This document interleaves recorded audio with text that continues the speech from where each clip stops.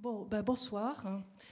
Euh, après la présentation le 6 février euh, dernier par euh, Fabienne Chevalier du rôle dévolu à la cathédrale dans la recomposition du récit national après la Révolution, nous avons souhaité consacrer une seconde séance à ce très énergique 19e siècle sous l'angle de ces grandes restaurations et chantiers monumentaux et sous l'angle de la figure euh, de Viollet-le-Duc, qui en est euh, évidemment le représentant le plus emblématique, euh, et dont Arnaud Tabet, historien Tabet, qui est avec est un très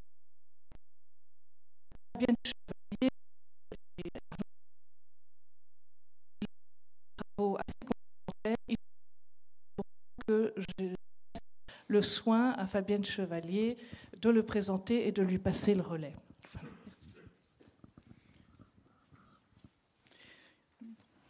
C'est un petit peu intimidant. Voilà. Mm. Donc, je présente Arnaud Timbert, qui est professeur euh, titulaire de la chaire d'histoire médiévale, de l'art médiéval, à l'université de Picardie euh, depuis 2017. Euh, récemment, Arnaud a été élu doyen de la faculté. Je me permets d'intervenir aussi dans notre, le fait qu'on nous connaissons et en tant que 19e c'était très intéressant de rencontrer un médiéviste qui s'intéressait au 19e siècle, parce que Arnaud Timbert a été conseiller scientifique à l'INHA. Et là, il a spécialiste de l'architecture gothique et de l'histoire du chantier médiéval, mais aussi euh, finalement d'apporter un regard de médiévisme et de, aussi d'apporter une histoire pleine et entière du chantier de restauration du 19e siècle. Voilà. Donc, euh, à l'INHA, euh, Arnaud Timbert a, lancé et mené Arnaud. Et il y a des actes en cours de publication en, ce moment. Et il a lancé, euh, c'était quand même très très audacieux et, intelligent, un nouveau dictionnaire raisonné de l'architecture française, en se disant que finalement, Viollet-le-Duc avait fait le sien au XIXe siècle, mais il fallait peut-être revoir ça à notre époque. Et puis il a lancé aussi un programme d'égo-histoire euh, pour les historiens de l'architecture qui s'appelait L'architecture et ses historiens. Donc euh, je reviens sur euh, les principaux travaux d'Arnaud Timbert, qui est un, historien de l'architecture médiévale spécialement gothique, surtout gothique, qui a fait sa thèse doctorat chevet de la Madeleine de Vézelay et les débuts de l'architecture gothique en Bourgogne. Vous voyez que Vézelay, eh bien, ça a dû il a, il a très, nombreux euh, travaux et, ouvrages. Je ne vais pas les citer ici tous, hein, mais il s'intéresse aussi, aussi bien à l'histoire matérielle de l'architecture médiévale et il a aussi l'audace de, poser des questions comme euh, existe-t-il une signification politique de l'architecture gothique au XIIe siècle hein, de titre d'une publication en 2007. Il a fait de très très nombreuses contributions sur euh, l'histoire de la cathédrale de Noyon et les dépôts lapidaires euh, en Picardie.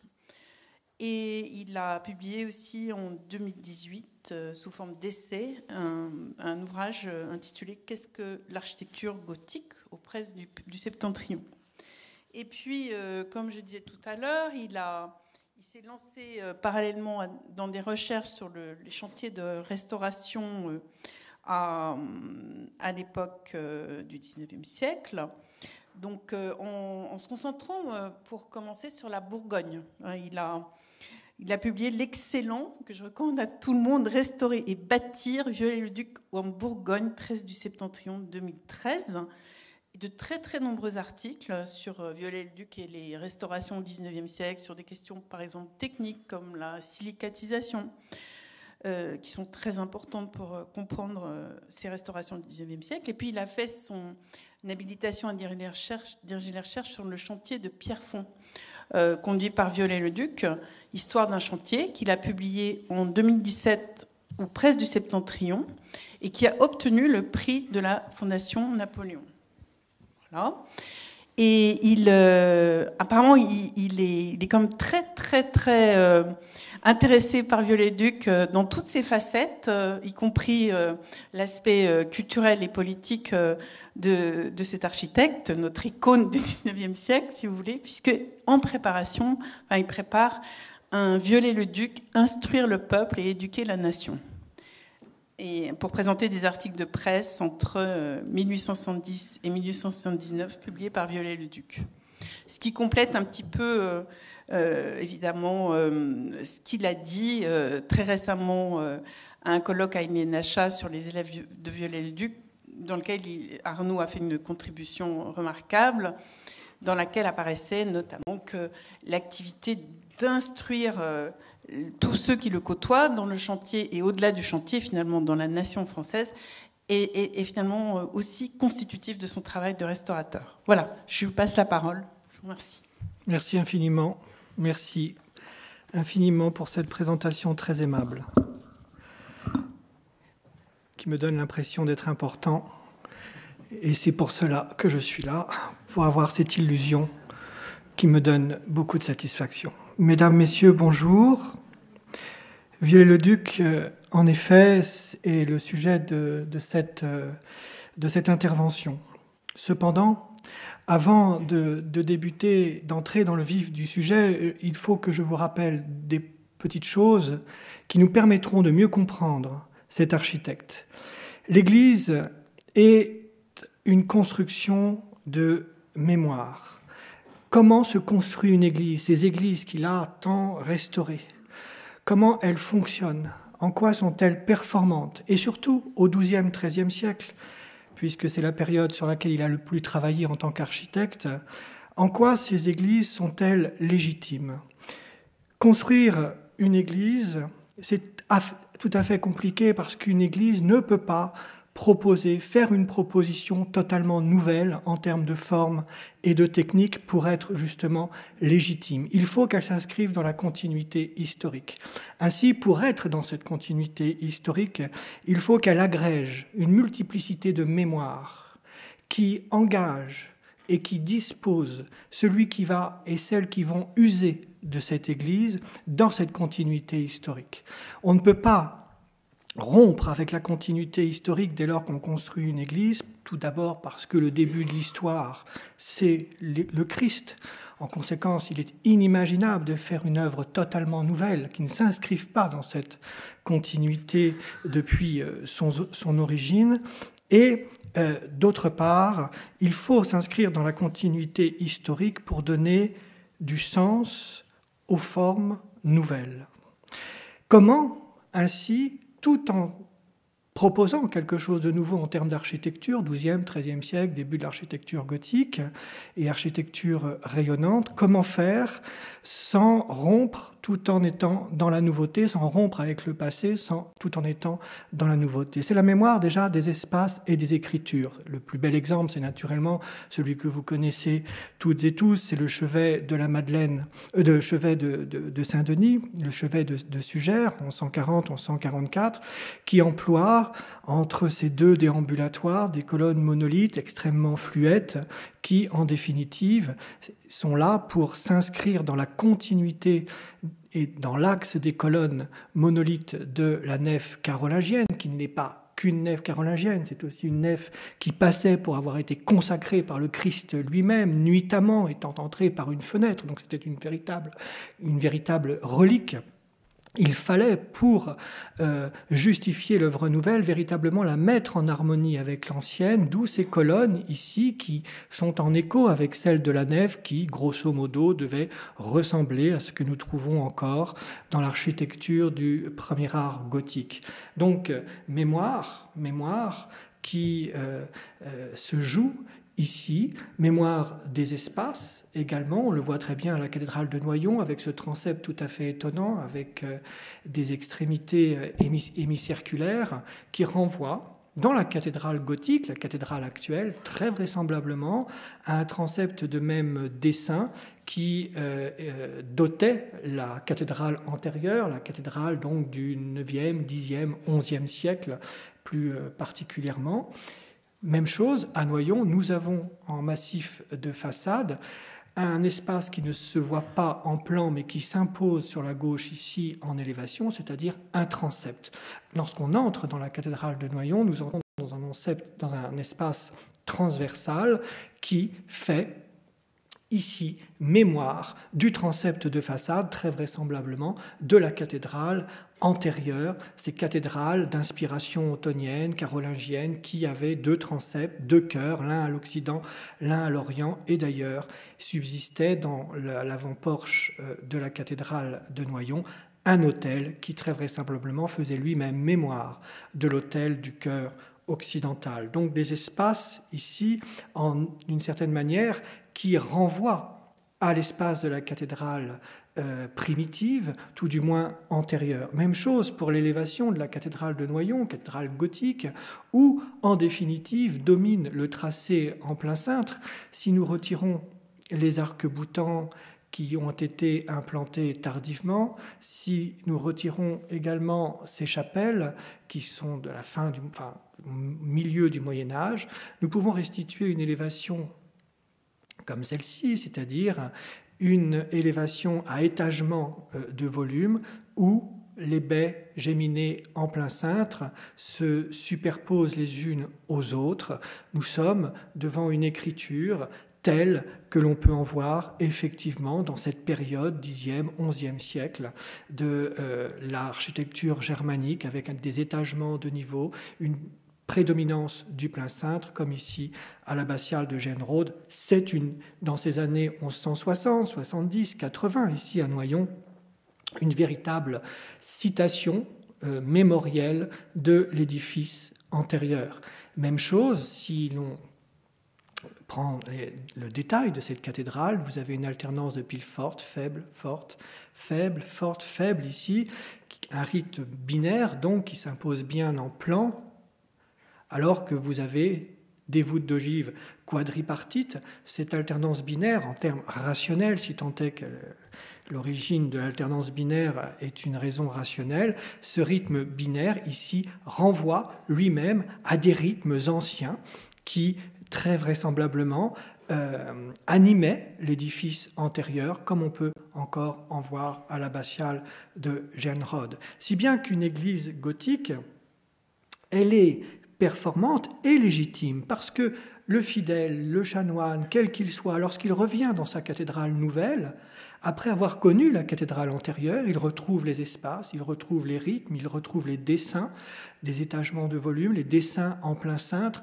de la cathédrale antérieure. Elle fait donc mémoire, une constellation de mémoire, d'espace, de rythme, de tracé, qui fait que cette cathédrale est légitime. On le retrouve très bien à la cathédrale de Paris les cinq vaisseaux de Notre-Dame de Paris, dans euh, la nef, puis ensuite dans les parties orientales, sont une citation de euh, les cinq vaisseaux de la cathédrale antérieure. Cette cathédrale antérieure qui, grosso modo, avait cet aspect, c'est-à-dire principalement un édifice vraisemblablement charpenté, doté par conséquent de murs fins, percés de très nombreuses fenêtres, les murs étant faiblement porteurs, et surtout doté d'une deux fils de colonnes qui donnent une très grande fluidité à ces espaces, le tout doté de murs lisses. On retrouve tout à fait cette esthétique à Notre-Dame de Paris avec cette suite continue de colonnes. On retrouve tout à fait l'une des caractéristiques de Notre-Dame, c'est ces murs extrêmement fins, ici 60-70 cm grand maximum, ce qui est euh, véritablement ridicule, et surtout cette grande générosité euh, en aplat de murs. Il y a une très grande économie des moulures, une très grande économie des supports, c'est-à-dire de tout ce qui est euh, saillie, volume qui crée des ombres au profit d'une architecture extrêmement dépouillée, extrêmement lisse. Nous sommes là dans la mémoire, encore une fois, tant en plan qu'en rythme et en esthétique murale de euh, la cathédrale antérieure. Et c'est pour cela que Notre-Dame de Paris est, aux yeux de ses contemporains, légitime. Mémoire matérielle, mais aussi euh, immatérielle, c'est le cas des Lumières. L'étude récente des, revêtements, en particulier les, faux appareils, a permis de distinguer une relative longévité des couleurs couvrantes, et cela en dépit de l'évolution des modes formels. Les, formes changent, les couleurs qui revêtent les murs ne changent pas. Ainsi, le revêtement beige, crème, à joint blanc est présent en Île-de-France et en Picardie du début du XIIe siècle à la fin du XIIIe siècle. Pour quelques exemples, la cathédrale de Soissons, de Lens, de Senlis, de Noyon étaient revêtues, en dépit de leurs différences formelles d'ailleurs, étaient revêtues de ces faux appareils crème à joint blanc, au même titre que l'est aujourd'hui, depuis sa restauration, la cathédrale de Chartres. Il y a donc transmission d'ambiance lumineuse. Les monuments auvergnats invitent au même constat du XIIIe au XVe siècle des réalisations comme la cathédrale de Clermont-Ferrand, des églises de Saint-Marcelin de Chanteuse, de Blassac, etc., montrent un emploi de faux appareils gris, ici, à joint blanc, là, voyez, ici, par exemple, qui euh, décorent les, les monuments, et ceci afin de garder une identité lumineuse des monuments identiques à travers les siècles, et ce, en dépit du changement des formes. Cette identité lumineuse, ces revêtements dont se gorge la lumière en tombant sur les murs, créent une identité qui ici, pour le coup, en Auvergne, n'est pas la même avec ce revêtement crème à joint blanc que l'identité lumineuse du euh, nord de la France. Alors on manque d'exemples pour constater un processus identique entre le Xe et le XIIe siècle. Toutefois, on voit quelque chose d'assez intéressant à la cathédrale d'Amiens et à la cathédrale de Beauvais. À la cathédrale d'Amiens, ici dans le transept, on voit que les voûtins sont revêtus d'un jaune assez pâle et de joints blancs. À Beauvais, ici, nous avons un faux appareil plutôt jaune euh, foncé, dirons-nous or, à joint noir flanqué de blanc. Et effectivement, euh, ces, revêtements très clairs des parties hautes proposent une forme euh, d'oréification des parties hautes, comme on le voit très bien ici à Chartres, en contraste avec cette voûte qui a été grattée de son décor. Et ceci fait mémoire en définitive des euh, plafonds revêtus à la feuille d'or, des églises antérieures, et ce depuis euh, le début de l'architecture gothique, comme on peut euh, le voir encore aujourd'hui, et comme Prudence et comme Sidoine en font mémoire, tant pour la basilique Saint-Paul hors les murs que pour la cathédrale de Lyon. Donc dans la cathédrale, dans le monument gothique nouvellement construit, encore une fois, prêtres et fidèles pouvaient ainsi trouver retrouver une, lumière proche, sinon identique, aux lumières des édifices antérieurs. Il y a aussi la mémoire des savoir-faire. Très important, ce n'est pas neutre. Si l'on prend l'exemple de la cathédrale de Chartres, à Chartres, à hauteur du regard, s'imposent des assises qui peuvent aller jusqu'à 3 mètres de long, 50, 60, 70 cm d'épaisseur, à savoir un très grand appareil qui magnifie un rapport à l'antique et donc qui justifie, qui donne une ancienneté, un archaïsme volontaire au monument et toutes les références qui vont avec l'antique. Ici, ce choix du grand appareil devant les yeux donne de la vénérabilité au monument et l'inscrit encore une fois dans la continuité historique. Et ça va plus loin à Chartres, puisqu'à Chartres, l'ensemble de ces grands modules, ici, vous voyez ces pierres gigantesques, sont reliés les unes aux autres par des agrafes visibles, ostensibles, qui euh, vont de 80 à 90 cm euh, de long. La cathédrale de Chartres n'est pas tant construite euh, avec un système de butement, de contre-butement très raffiné. C'est construit par la masse véritablement à l'antique. Et ces agrafes, on les retrouve d'ailleurs ici à la racine des euh, galeries du triforium. Elles passent sous les bases des colonnes du triforium et surtout on les retrouve également à l'extérieur, très visibles, employées en très grand nombre partout, tantôt pour relier les colonnes à, aux chapiteaux, les mêmes colonnes à leur base, Et sur l'extrado euh, des arcs-boutants, on retrouve également des agrafes. La technique fait sens. La technique donne, confère une tonalité ancienne au monument et ainsi c'est la technique ici à Chartres qui donne de la légitimité pour créer quelque chose de nouveau en termes de forme. Tout ceci est pondéré, tout ceci est par conséquent équilibré. La nouveauté est acceptable parce qu'elle s'inscrit dans euh, la continuité. À Chartres même, on va encore plus loin. Dans ces années 1194, voilà, début du chantier à peu près, euh, aux années 1220-1230, son achèvement. Nous sommes à la période où on utilise en, en Ile-de-France et dans tout le nord de, la Loire.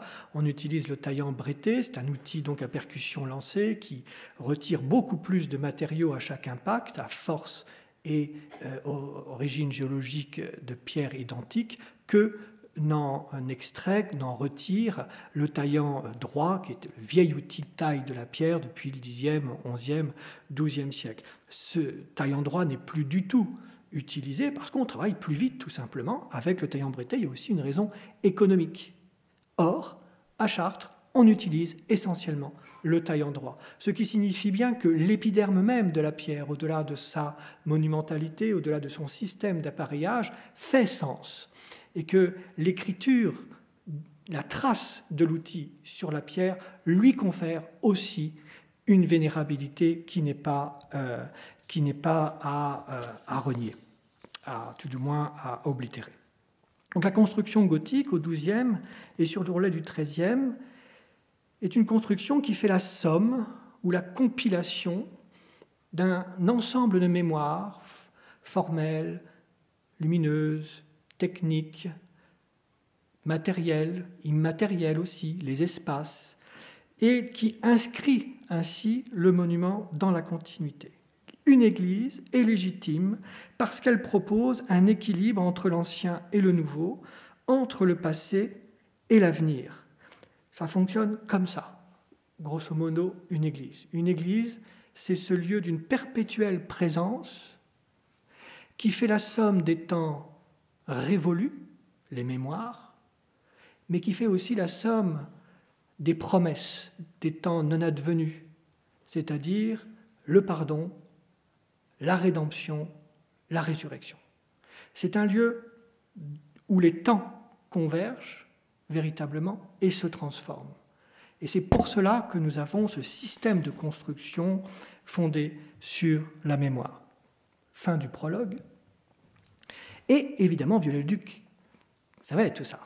Et sa belle et profonde euh, culture judéo-chrétienne, il savait tout ça.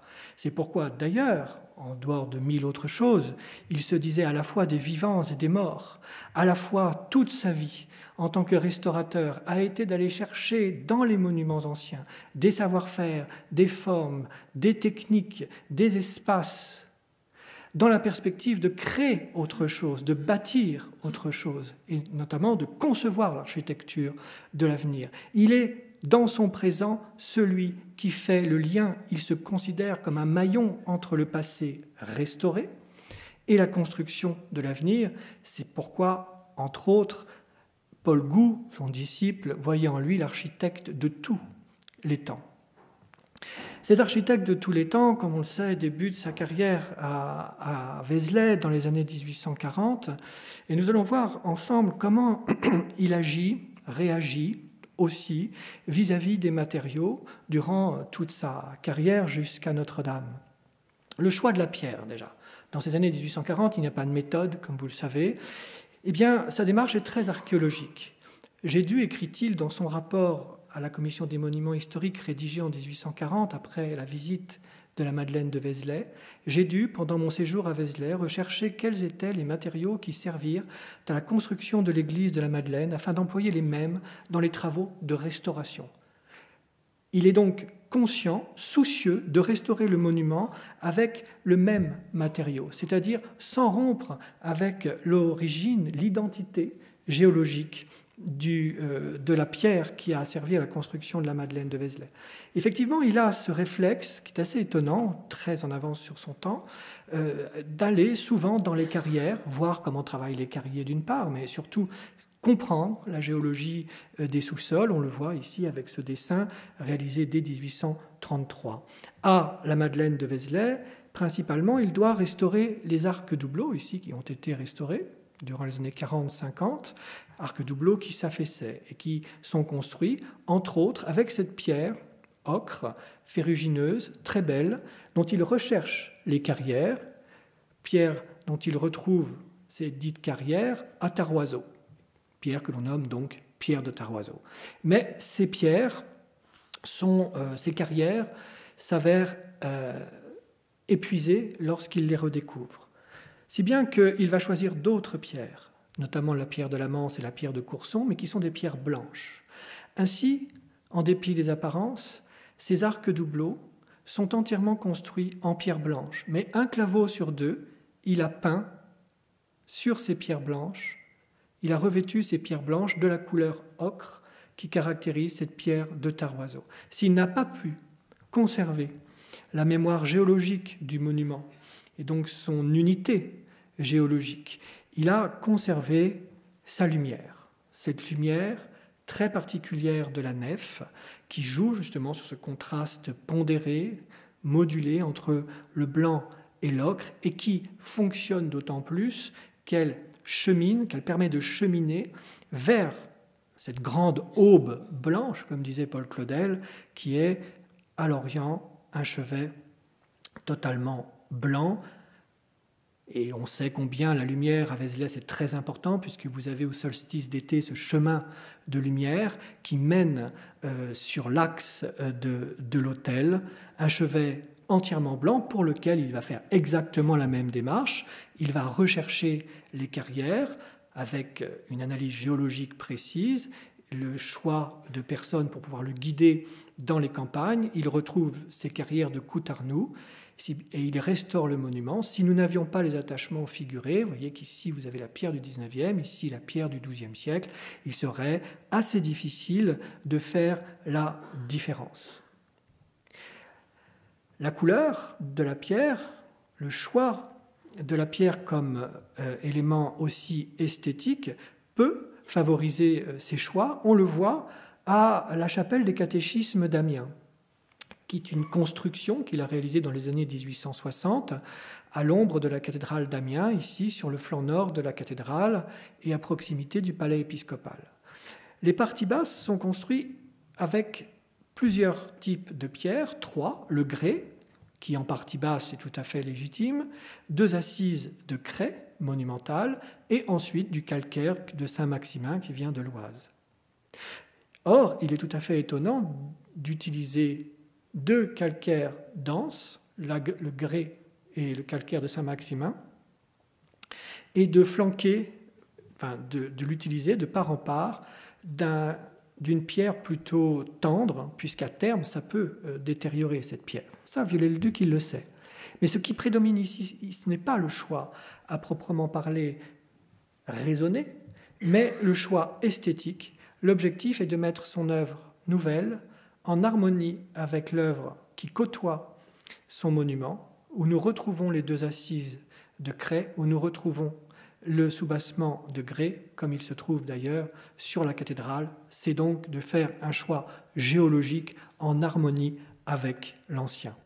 Et comme les bâtisseurs de Chartres et de tant d'autres, ils travaillent pas simplement sur l'origine géologique, ils ne s'interrogent pas simplement sur la valeur esthétique de la pierre, ils travaillent l'épiderme. Et ici, il va travailler avec ses artisans il va rechercher les savoir-faire des tailleurs de pierre il va notamment dater l'usage de ces deux outils que j'ai déjà évoqués, le taillant droit, qui prédomine au XIe, XIIe siècle, et le taillant bretté, qui est véritablement l'outil de taille du, euh, du, tailleur que nous appellerons gothique. Mais ces deux outils laissent des traces totalement différentes. Taillant droit, ici, avec des, traces linéaires, continues.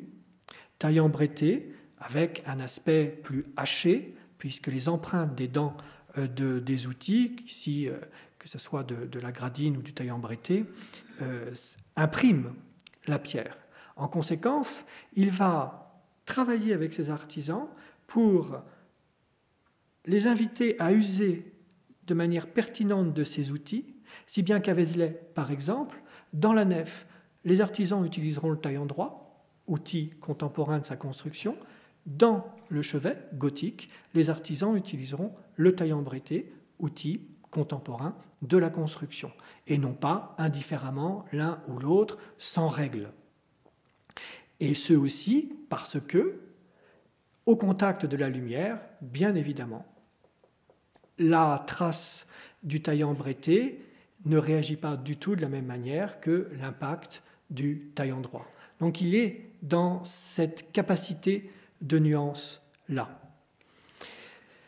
Même chose pour ce qui est, euh, au-delà du façonnage de la pierre, ici la mise en œuvre, il observe dans de nombreux monuments l'usage assez important du plomb dans euh, le liaisonnage. Ici à Saint-Denis, nous avons un mur qui a totalement disparu au profit de la paroi de verre, un mur euh, euh, qui a disparu également ici euh, dans le triforium, au profit de remplages extrêmement fluets, qui, à la fois, s'ils étaient appareillés au mortier, pourraient être attaqués par le vent et la pluie, mais qui seraient d'autant plus fragiles s'il y avait un cisaillement ou un mouvement dans la structure. Donc dès le XIIIe siècle, toutes ces baies, ainsi que les arcatures du triforium, sont liaisonnées au plomb. Pour des raisons statiques évoquées, d'étanchéité également, mais aussi de rapidité et donc d'économie, puisque cela évite d'arrêter le chantier l'hiver, même si ça a un coût, bien évidemment. Le duc observe ces techniques sur le chantier de restauration et les transmet au chantier de construction. On le voit très bien avec le, à Paris avec euh, l'escalier de la sacristie de, Notre-Dame, notamment ici sur les rampes, on peut observer que l'ensemble de cet escalier est liaisonné ici et là avec des, euh, des semelles de plomb. Donc le chantier de restauration est toujours un lieu de réflexion qui lui sert à former des individus, des artisans, au savoir-faire de la restauration du passé, mais qui leur permet aussi d'apprendre, d'assimiler des savoir-faire anciens pour revigorer et performer le chantier de construction. C'est toujours ce lien donc tout à fait médiéval dans son, euh, dans son cheminement. Mais il va plus loin encore lorsqu'il demande à ses artisans, à Vézelay et ailleurs, à la cathédrale de Clermont-Ferrand, alors que ça n'a plus du tout de sens au XIXe siècle, d'apposer, de graver sur chacune des pierres taillées des marques lapidaires. Au Moyen Âge, la marque lapidaire renvoie à un système de comptabilité et de paiement. Ce n'est plus du tout le cas, et encore moins au XIXe siècle, et encore moins dans le cadre de la commission de l'administration des monuments historiques. Donc il met ses artisans en situation, et il les observe, et il regarde combien de temps il faut pour un tailleur de pierre de à tailler tel ou tel type de pierre avec tel ou tel type d'outil, et en plus le temps qui s'ajoute à cette taille, qui est celui du marquage de la pierre. Le chantier de restauration, c'est toujours une grande entreprise anthropologique, d'analyse anthropologique pour, euh, pour Viollet-le-Duc, qui lui permet ainsi ensuite de tirer des conclusions sur le temps des chantiers, sur le savoir-faire des hommes du Moyen Âge. Combien de temps mettait-il à faire une gargouille, par exemple? Ce sont des questions importantes, et il les expérimente et il y répond en mettant ces hommes en condition. On le voit également, ça va très très loin parce qu'il a euh, conscience de l'importance de la psychologie. Il met euh, ses sculpteurs, notamment, qu'il appelle les, troupes d'imagiers, qui eux-mêmes s'appellent par des petits noms, comme au Moyen Âge, en condition pour tailler des chapiteaux, notamment sculpter des chapiteaux avec la flore, voire la faune, des régions où les chantiers se déroulent, qu'il s'agisse des chantiers de restauration ou des chantiers de construction comme ici à Pierrefonds. À Pierrefonds, il met à disposition de ses, sculpteurs des herbiers, de la flore locale qui deviennent des, euh, des images, des, document d'inspiration pour la réalisation de leur décor sculpté. Et pourquoi fait-il ceci? Parce que dans l'article Flore du dictionnaire raisonné d'architecture, eh bien, il estime que les artisans du XIIe et du XIIIe siècle procédaient de la sorte. Donc, il ne se contente pas de leur transmettre des techniques, il ne leur contente pas de revigorer certains savoir-faire, il ne se contente pas de leur expliquer comment choisir la pierre, c'est-à-dire de retourner au ventre du monument que sont les carrières. Non, il les met véritablement dans une disposition où, dans leurs gestes, dans leurs attitudes, ils restaurent eux-mêmes le Moyen Âge. Cette euh, ce rapport au passé pour former une main-d'œuvre présente dans la perspective toujours d'alimenter des chantiers de construction, trouve d'autres euh, aspects pour un sujet qui est très peu considéré chez les historiens de l'art, qui est la couverture ou les couvertures. On le voit à Vézelay, notamment dans l'instruction pour la conservation, l'entretien et la restauration des édifices diocésains qu'il a rédigé en 1849 avec Mérimée, article 50, l'architecte mettra tous ses soins à ce que l'entretien des couvertures ne soit jamais négligé, ce qui est la base de l'architecture. Il ne changera jamais la nature des matériaux d'une couverture sans une autorisation spéciale. Et pourtant, à Vézelay, les couvertures de lave qui couvraient l'ensemble des bas-côtés de l'abbatiale sont changées. Cette charpente est couverte en pierres appelées laves dans le pays. Il serait aussi tout à fait nécessaire de remplacer ce système de couverture entièrement pesant par des tuiles creuses sur les bas-côtés et plates sur les combles de la nef. Ça, c'est tout à fait Viollet-le-Duc. Et c'est tout à fait médiéval. Créer une règle, mettre de l'ordre, et surtout créer immédiatement son contraire. C'est très difficile de mettre Viollet-le-Duc dans une boîte parce que pour chaque monument, il a des règles, il arrive avec son bagage de règles, mais chaque monument ayant son histoire propre, tel un individu, il s'adapte. Et ici, il ne le dit pas, mais il s'adapte à quoi? Il s'adapte à l'économie, parce que ce type de couverture, très importante pour la structure et l'équilibre du monument néanmoins, car pesante et en conséquence contrebutante, ce type de couverture de lave était faite au Moyen Âge par le biais des corvées. C'était des pierres qu'on ramassait à même le sol, qui étaient donc peu coûteuses, mais ce n'est plus du tout le cas au XIXe siècle. Si bien qu'il change l'aspect des couvertures de la Madeleine de Vézelay au profit de ces tuiles dites euh, romaines. On voit également qu'il n'hésite pas à instiller des techniques contemporaines dans la restauration des monuments anciens, toujours à hauteur des couvertures. Ici, à Saint-Cernin de Toulouse, qui était pour le déambulatoire et les chapelles couvertes de tuiles romaines, et qu'il va changer pour l'ensemble au profit de dalles, de dalles de pierre taillées, dont la technique n'était pas du tout euh, celle connue au XIe siècle. Mais il va plus loin encore, puisque à la Madeleine de Vézelay, il propose à la Commission des monuments historiques de couvrir la Madeleine de Vézelay en zinc, matériau qui, comme vous le savez, euh, n'existait pas au Moyen Âge. Et son argument, il est simple, il est performant, il est percutant, il est l'argument d'un homme qui fait ce maillon entre le passé et l'avenir. Si les hommes du Moyen Âge avaient connu le zinc, ils l'auraient employé. Soyons pertinents. Ce n'est pas dénaturer le monument, c'est s'inscrire dans la continuité d'une logique. Et il n'empêche qu'il peut, dans un monument très proche de Vézelay, le palais synodal de Sens, procéder à de l'archéologie expérimentale en observant, en relevant les quelques tuiles glaçurées qui subsistent encore sur la toiture et restaurer une couverture, l'une des premières, avec ces, euh, ces couleurs glaçurées, noire, verte, jaune, etc. Et il y a là une très belle entreprise parce qu'il s'agit pas simplement de retrouver des techniques, encore une fois, il s'agit aussi de réouvrir des tuileries autour de Vézelay, de donner du travail, de former un savoir-faire et de promouvoir une technique qui va ensuite se développer grandement en Bourgogne, dont on croit que c'est la région des tuiles glacurées, mais enfin il y avait des tuiles glacurées partout euh, au, Moyen Âge, et qui permet donc de créer une, un souffle, un souffle euh, économique. Vous savez, le duc disait, il n'y a qu'une école pratique d'architecture, c'est le chantier de restauration. C'est là où on forme, c'est là où on crée une main-d'œuvre de qualité, et c'est là où on crée surtout de l'emploi. Même chose à Pupetière, dans ce magnifique château de Pupetière, dans le Dauphiné. Il a employé les tuileries du marquis de Virieux afin de créer euh, un nouveau type de tuiles, de nouvelles couleurs qui s'harmonisent à toutes euh, euh, à toutes les, les saisons d'ailleurs.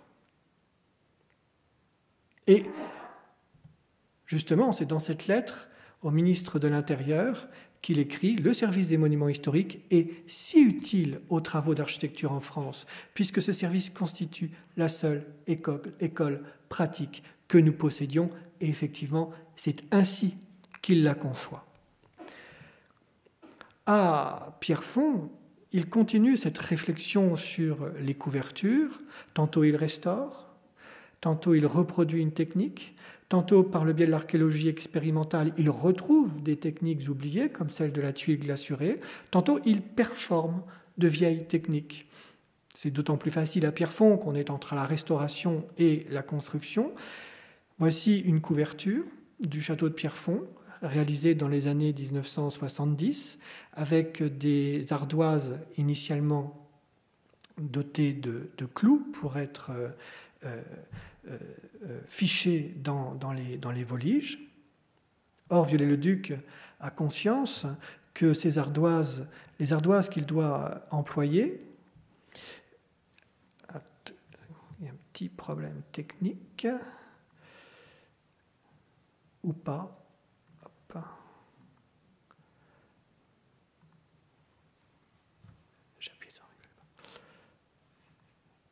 J'aurais pas dû appuyer là-dessus.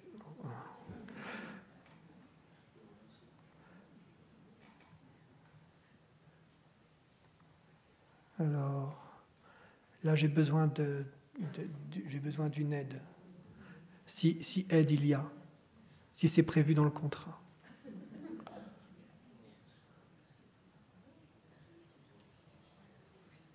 C'est étrange. Je ne vois plus rien, je ne touche plus à rien. Oula. Alors là, ça va être compliqué. Allez, voilà. Et on ne voit plus rien sur l'écran. Mhm. Ah, c'est reparti. Et c'est reparti.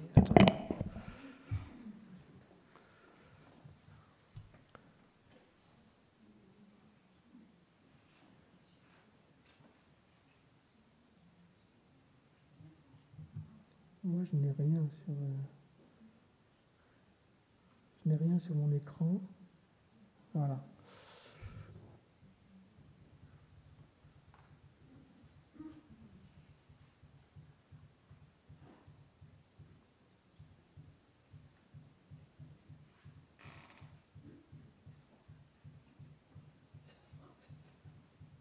nous permet de une pause.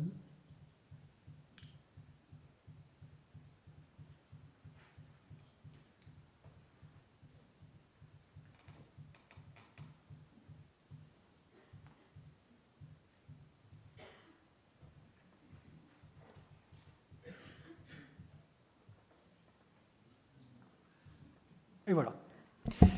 Et donc il est très soucieux du choix de, l'ardoise. D'ailleurs, il utilise des ardoises de, de, fumet, qui sont des ardoises euh, violacées, avec des reflets bleus, roses, noirs, profonds parfois, gris pour certaines, qui permettent, par des jeux habiles de mise en œuvre, de faire des motifs. Et effectivement, ce sont ces ardoises qu'il utilise, lui. Des ardoises non pas fines, comme celles que je vous ai montrées précédemment, mais des ardoises relativement épaisses, non pas des ardoises monochromes, mais avec une diversité de couleurs. Il a conscience que la, toiture doit vibrer. La toiture, c'est très important. Ça, c'est quelque chose qu'il a compris du Moyen Âge aussi. Dans le fait que c'est la couverture qui marque la ville, qui marque le paysage et qui donne une identité préalable à toute rencontre avec le monument, c'est la couverture. Mais cependant, il euh, modernise le système en créant ces crochets que nous connaissons tous maintenant, puisqu'ils sont dans, nos, dans, nos, euh, dans toutes les, maisons et les pavillons. Euh, c'est le crochet et non pas le clou. Le crochet qui permet ici, par le pureau de, de l'ardoise, de relier en S cette ardoise à la volige, ici métallique, crochet qui s'ouvre, qui s'ouvre, qui se ferme à l'infini, tout du moins au moins une dizaine de fois avant de casser, et qui permet de retirer en tiroir et de remettre, euh, si nécessaire, une tuile qui aurait cassé sans nuire à la périphérie des autres qui, quand elles sont cloutées, créent une forme d'homogénéité et empêchent des restaurations très, très ponctuelles. C'est le système, euh, la chambre, qu'il a. Euh, imaginé, qu'il a breveté avec son euh, serrurier du, euh, du, chantier de, de Pierrefonds. Donc l'ancien, oui, la maîtrise des effets euh, et des techniques qu'il performe, oui, mais aussi il peut retourner directement à un état qui n'a jamais existé, bien évidemment. On le voit avec ses couvertures en plomb initiales de Notre-Dame de Paris, qui malheureusement n'ont jamais été véritablement bien étudiées, qui sont de grandes tables. Vous voyez ici, vous avez à peu près 50 à 60 cm entre chaque euh, crochet, donc des tables qui peuvent faire 3, 3 mètres 50 parfois, et qui sont assez proches des tables que nous avons toujours ici sur le cœur de la cathédrale de Beauvais, c'est-à-dire une couverture qui a été en définitive réalisée à la période moderne sous le, cardinal de Noailles au XVIIIe siècle à, Notre-Dame, en tous les cas, et qui effectivement est très bien documenté par le traité du, plombier Fontainier. Vous voyez ici ces grandes tables horizontales, mais qui posent un problème considérable de mise en œuvre, parce que bah, c'est très lourd, bien évidemment. Ce sont des tables qui sont coulées euh, à la louche, bon, déjà laminées ici au XVIIIe siècle, mais qui peuvent être très lourdes euh, lorsqu'elles sont euh, manipulées. Viollet-le-Duc préfère très largement un autre système qu'il observe à la cathédrale de Chartres avant qu'elle ne brûle en 1836, c'est-à-dire un, système de tables bien imaginé dans un système de standardisation et de préfabrication propre au XIIIe siècle, un système de tables verticales, standard, coulées in situ, directement sur le chantier et disposé par un système de crochets, de bourrelets, etc.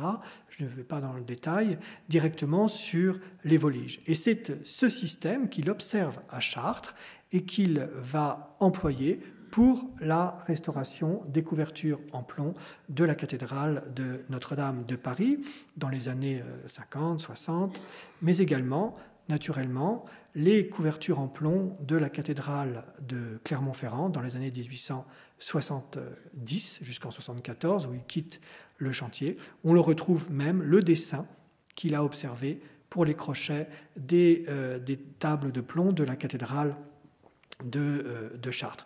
Donc il restitue véritablement là un savoir-faire, euh, une mise en œuvre rapide, économique, euh, puisque ces tables sont coulées véritablement à la chaîne et disposées très facilement à l'aide de deux ouvriers, et non pas cinq, six ouvriers avec un système de cordage très compliqué. Et tout ceci, il le pense non pas seul, il apporte sa culture médiévale et ensuite il travaille avec des entrepreneurs notamment les frères Durand, Louis-Jacques et Antoine Jérôme, qui sont ici représentés sur la flèche de euh, la Sainte-Chapelle, qu'ils ont euh, véritablement réalisé avec Duban et, et. C'est-à-dire qu'il va employer ces artisans qui sont initialement des plombiers fontainiers et il va les inviter à travailler pour les monuments historiques, à développer des techniques. Horace de Vieille-Castel, que vous connaissez euh, tous, j'imagine, qui a écrit euh, des mémoires du Second Empire, qu'on appelait euh, Fiel Castel, tellement il disait du mal de tout le monde, donc un être très équilibré, et il parle de Durand dans ses mémoires, il ne parle que de la cour, il ne parle que du Louvre où il travaille, il ne parle que des salons de la princesse Mathilde, et il parle néanmoins de Durand, parce que ce sont des personnes visiblement très importantes. Et lorsqu'ils ont reçu la Légion d'honneur, ils le mentionnent dans ses mémoires. Donc nous sommes face à des artisans de, de, haute euh, volée, de très haute capacité technologique, technologique qui pénètrent véritablement les, les plus hauts rangs, les plus hauts tissus de, de, la société. Et avec Durand, bien sûr, il va, violer le duc, restaurer la flèche de la cathédrale euh, d'Amiens, réfléchir au savoir-faire, aux mises en œuvre, aux techniques de façonnage, repousser ou pas, mouler ou pas des, des motifs sculptés, et ensuite, dès 1845-53, euh, réaliser la première couverture en plomb, avant celle de Notre-Dame, des monuments qu'on pourrait appeler historiques, à savoir celle de la sacristie de Notre-Dame, avec par ailleurs une crête de fêtage. Très vite, les, Durand vont, euh, vont, vendre leur entreprise à Monduit, que l'on connaît un petit peu plus, plombier, couvreur, mécanicien. Et avec eux, encore, avec Monduit, il va travailler, il va développer des techniques, notamment pour le cuivre, mais il va aussi, comme vous le savez, dans les ateliers Monduit, travailler au projet de la, Tour Eiffel, puisque, de, la, Statue de la Liberté, merci, puisqu'il va concevoir la structure interne avant, avant que Eiffel prenne sa place à cause de, de, son décès. Et on le voit très bien dans cette, euh, justement dans cette publicité. On voit la, la Statue de la Liberté, bien sûr, mais on voit également ici les crêtes de fêtage de Notre-Dame, on voit la flèche de Notre-Dame, ici, on voit la statue en cuivre euh, de euh, Vercingétorix à, Alésia réalisée sur un socle réalisé par Viollet-le-Duc, etc., etc. Donc ils sont vraiment euh, très proches, ils travaillent ensemble, ils pensent ensemble. Et ils ont des réunions de chantier quasiment tous les mois. Et cette réunion de chantier, elle se passe dans le train. Quand ils vont à Pierrefonds, prennent le train Gare du Nord, et jusqu'à Compiègne, ces réunions de chantier. Et là, ils discutent. Et ils vont se voir aussi. Viollet-le-Duc va souvent dans les ateliers de Monduit. Monduit passe souvent à l'agence de Notre-Dame. Ce sont des gens qui sont en rapport constant et Monduit va faire fortune grâce à, justement à ce, à ce, travail sur, le, sur les techniques anciennes et sur euh, remettre au goût du jour les techniques anciennes et donc former aussi tous les artisans. Il va faire fortune grâce au chantier de restauration, puisqu'il va pouvoir ensuite proposer ses savoir-faire au chantier naturellement de construction. Et c'est justement ce va-et-vient constant qui existe, ce, maillon présent qui fait le lien entre le passé et euh, l'avenir, puisque lorsqu'il restaure Notre-Dame, avec la ou sans la Sus, Viollet-le-Duc en même temps construit la sacristie et la maison du gardien. Ce sont les mêmes hommes, ce sont les mêmes entreprises qui à la fois restaurent et construisent.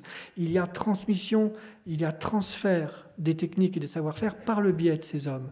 À Saint-Denis, restauration de l'abbatiale, en même temps, il construit la grande, la belle église Saint-Denis de l'Estrée qu'il faut absolument visiter, qui est dans l'axe de l'abbatiale à Vézelay, alors qu'il reconstruit la Madeleine, il y a la construction du cloître de l'abbatiale, il y a la construction de l'église d'Ayan sur Tolon, il y a l'érection de la flèche de l'église de Chablis en plomb avec Durand et en collaboration avec Émile Hamé. Il y a à Carcassonne, en même temps que la grande restauration, la construction de l'église Saint-Gimère. À Clermont-Ferrand, eh bien, il restaure la cathédrale, mais surtout il l'achève, comme vous le savez, chantier donc de construction. Et à Amiens, alors qu'il restaure la cathédrale, il construit la chapelle des catéchismes que je vous ai présentée, la maison du Suisse, la sacristie, le, le cloître et toutes les dépendances épiscopales. Donc il y a véritablement au sein même du chantier de restauration des hommes qui immédiatement au pied du chantier construisent grâce au savoir-faire acquis en se frottant aux choses du passé. C'est ici que parfois les choses, il y a des petites frictions ou des superpositions, c'est le métal, qui est quand même l'acier, la fonte, euh, les matériaux du XIXe siècle. Qu'ayant à refaire à neuf le comble d'un édifice, écrit Viollet-le-Duc, l'architecte repousse la construction en fer parce que les maîtres du Moyen Âge n'ont pas fait de charpente de fer. C'est un tort, à notre avis, puisqu'il éviterait ainsi les terribles chances d'incendie.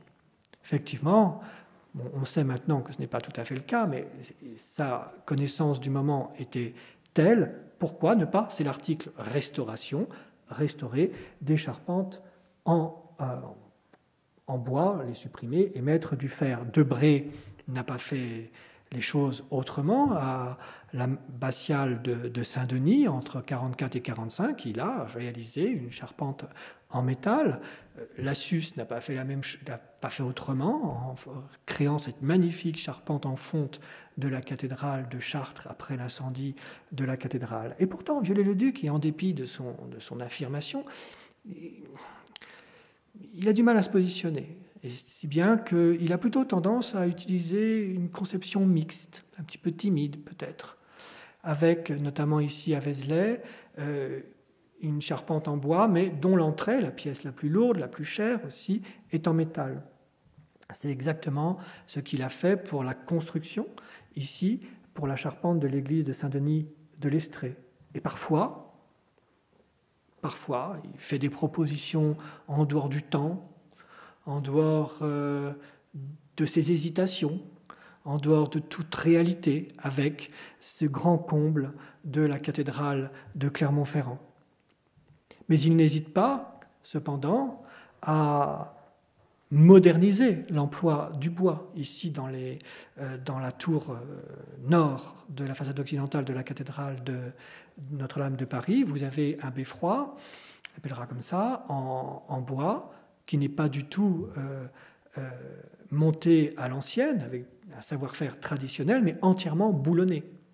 Ce qui, évidemment, à la fois là, il y a un matériau, on dirait, on, pourrait qualifier de traditionnel, mais la mise en œuvre est totalement contemporaine. Et pourtant, à Pierrefonds, au début, avant 1863, alors qu'il n'est encore que dans une perspective de restauration et non pas de construction, il fait appel à des charpentiers, il les fait travailler de la manière la plus traditionnelle qui soit, en leur imposant des outils particuliers, encore une fois en les regardant, en les mesurant dans le temps de leur travail, en essayant de comprendre les contraintes qu'il y a à travailler à l'ancienne, etc. Et dès 1863, il passe au tout faire pour le même château de, Pierrefonds, ici les chapelles. Alors, il y a bien cette, la chapelle de Pierrefonds, qui d'ailleurs a été exposée à l'exposition universelle de 67. Il y a bien euh, des réflexions et un homme qui tantôt se projette depuis son présent de manière difficile dans le passé, tantôt dans l'avenir. Il est des vivants et des morts et c'est pas facile tous les jours en définitive.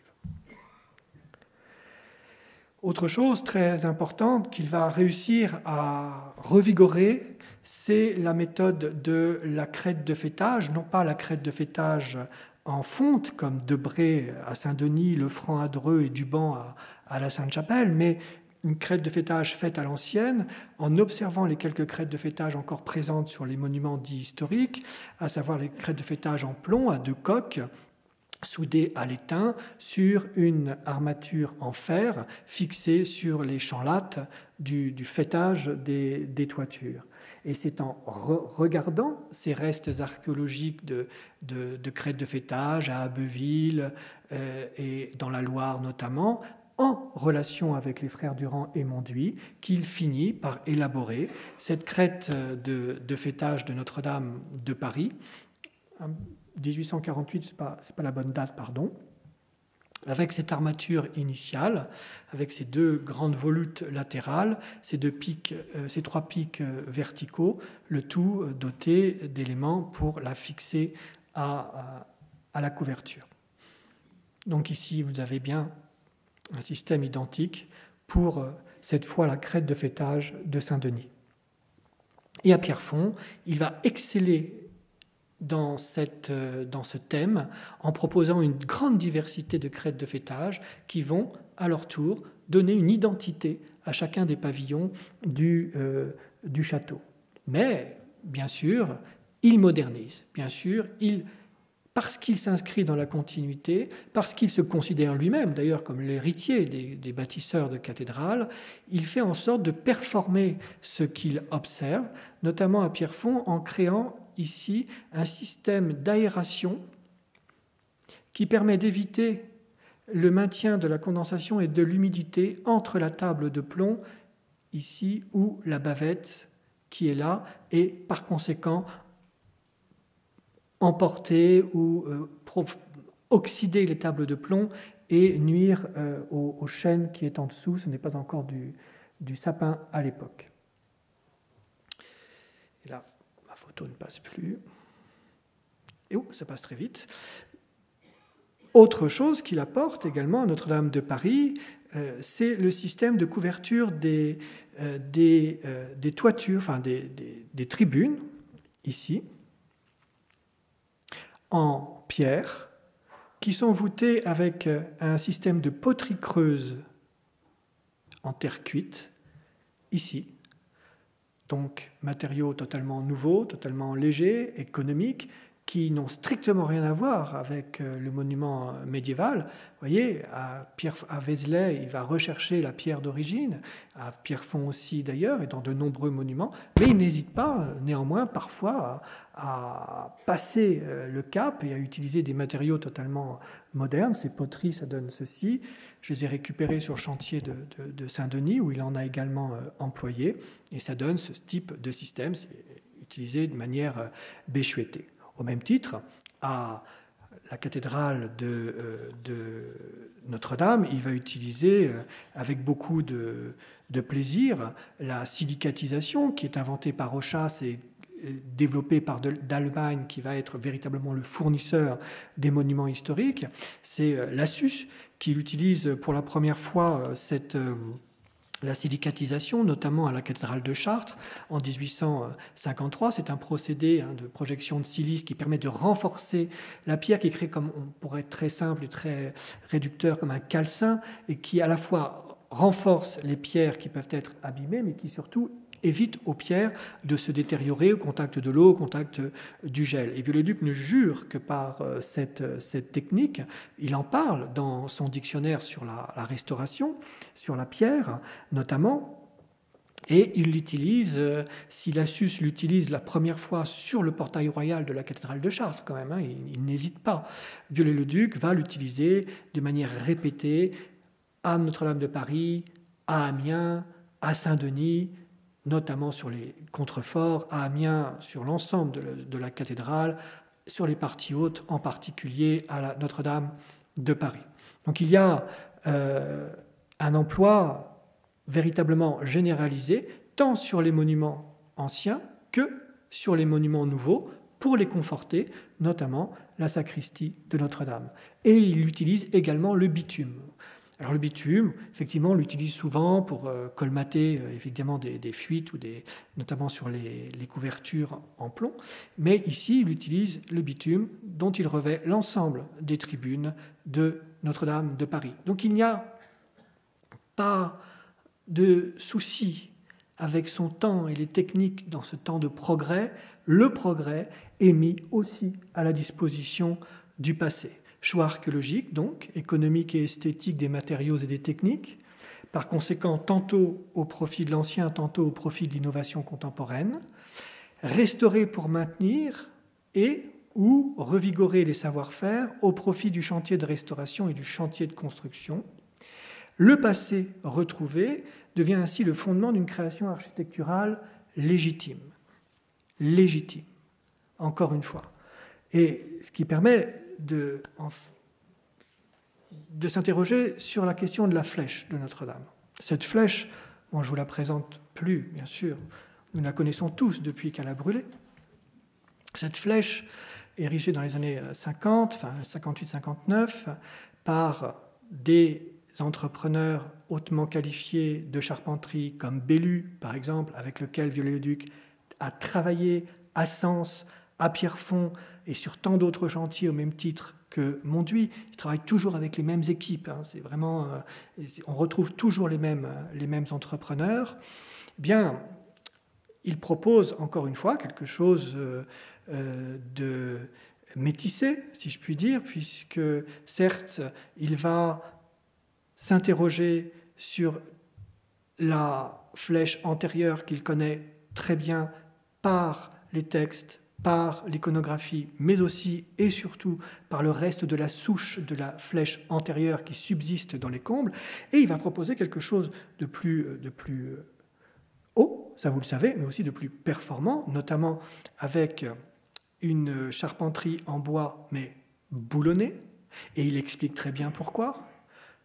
Quelque chose qui réponde mieux aux forces du vent, qui permette une oscillation plus, euh, une malléabilité plus réelle de la flèche, donc une rigidité moins forte de celle-ci. Donc il conçoit une flèche avec du bois, mais encore, il perfectionne cet usage en utilisant le boulon. Il crée une forme totalement ancienne, la flèche, l'aiguille, comme l'on dit au Moyen Âge, mais encore une fois, il apporte quelque chose pour performer la chose. Et, cette flèche, effectivement, est notamment différente en ce qu'elle fait 93 mètres euh, de haut, comme vous le savez, là où la flèche des années 1220-1230 était un petit peu plus basse, et quand elle a été, mais néanmoins, globalement, en dehors de cette différence, il n'y a pas de grande différence en apparence, puisque pour ce que l'on sait de cette flèche, il y a pas mal d'images. Il y a un très beau mémoire de master qui a été fait par Nina Derain à Paris 1. Vous aviez des formes naturellement du XIIIe siècle, et ce sont ces formes que Viollet-le-Duc utilise. Ces formes de réseaux, d'arcs brisés, de remplages divers et variés, qui sont totalement néogothiques. Il inscrit véritablement, il met en harmonie la flèche, l'aiguille, par ses formes avec l'édifice. Il inscrit par le choix euh, du, du néogothique, il inscrit bien le monument dans la continuité. Mais il fait aussi, au-delà de la proposition technique, une proposition esthétique qui est naturellement ces gradins d'évangélistes et d'apôtres qui viennent relier la croisée du transept à la souche de la flèche. Donc, à la fois, nous sommes dans, la tradition, à la fois, nous sommes dans l'innovation. Nous sommes dans quelque chose de totalement équilibré. Rien à voir avec la flèche de Debré dans les années 30, 40, la flèche en fonte, totalement en fonte, et cuivre. Rien à voir. Nous sommes devant une proposition qui tient compte, au contraire, de la réalité historique. Alors, question euh, que je vous pose. Restitution totale ou partielle de cette flèche Parce que c'est la question qu'on va tous se poser et qu'on se pose déjà. Moi, je crois, si l'on tient compte de ce que je vous ai dit dans le prologue, à savoir comment une Église est-elle construite, si l'on tient compte de l'esprit dans lequel travaille Viollet-le-Duc, toujours dans cette souci d'équilibre entre le passé et le présent, et surtout en tenant compte de ce qu'il nous a offert avec cette flèche, qui justement est euh, un manifeste de cet équilibre. Bien, je crois personnellement que ça n'a pas de sens de restituer à l'identique.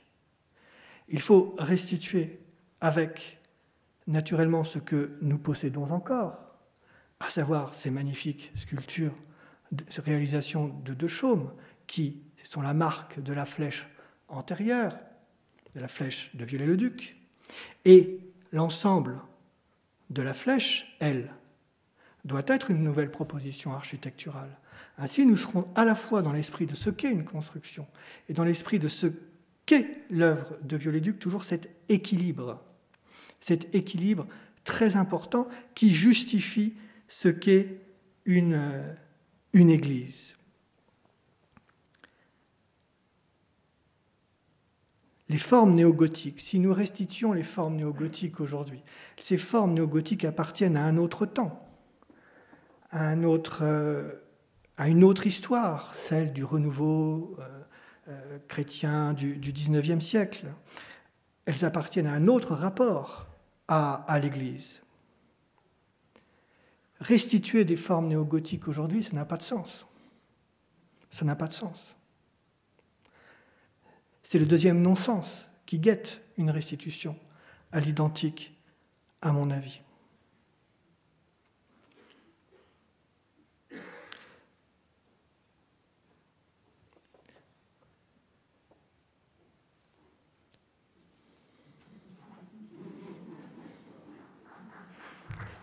Je vous remercie.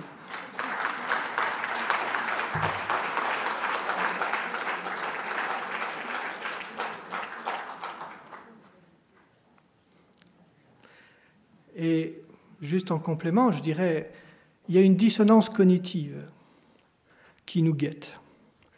La restitution de la flèche en pierre de la façade occidentale de l'abbaye de Saint-Denis, déposée en 1847 par Viollet-le-Duc, sa restitution, actée par la commission des monuments historiques, ne pose de problème à personne.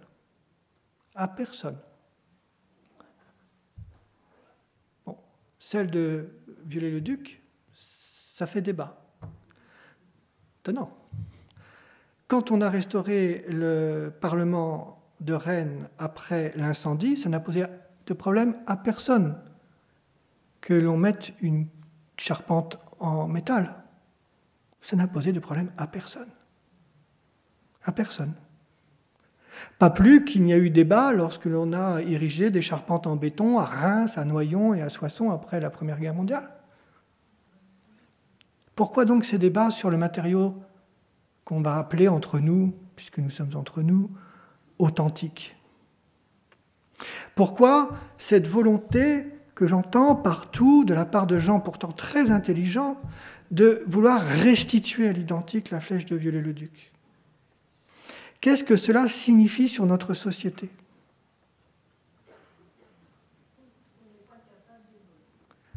Non, c'est pas qu'on n'est pas capable d'évoluer, on a une force d'évolution merveilleuse, mais il faut être certain que si nous restituons, parce que c'est nous, hein, c'est nous, c'est notre société, si nous restituons à l'identique la flèche de Viollet-le-Duc, dans 10 ans, dans 20 ans, dans 30 ans, les philosophes, les sociologues, les historiens nous jugeront.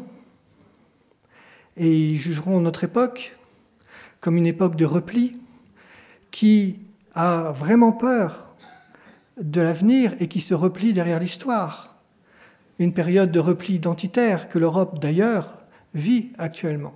Les monuments historiques ont toujours été appropriés. Or, c'est le grand choix que nous devons faire. Soit nous optons pour un monument historique, soit nous optons pour un monument dans l'histoire. Soit nous optons pour ce qu'est une église, c'est-à-dire une œuvre dynamique ou un organe figé. Donc c'est le choix que nous devons faire. Mais merci. Excusez-moi. Merci à vous, euh, Arnaud Timbert.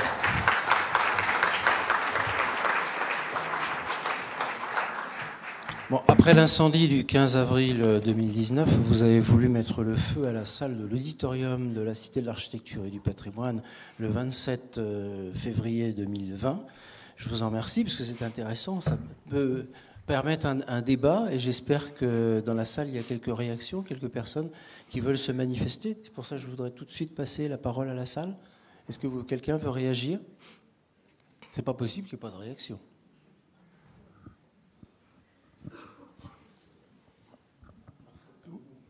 Oui, justement, euh, plutôt que de réagir tout de suite sur votre point de vue euh, sur la restauration de, ce qui a été détruit, euh, je voulais que vous nous éclairiez sur euh, le, concours que Viollet-le-Duc a gagné à l'époque. Euh, il a rendu des documents dont j'ai cru comprendre qu'il donnait une image de, rénovation qui, était autre que celle qui a finalement été réalisée. Alors est-ce qu'il s'agissait d'un document archéologique de tentative de reconstitution de l'état euh, de la fin du XIVe, par exemple, euh, pour ensuite dire qu'il allait faire autre chose?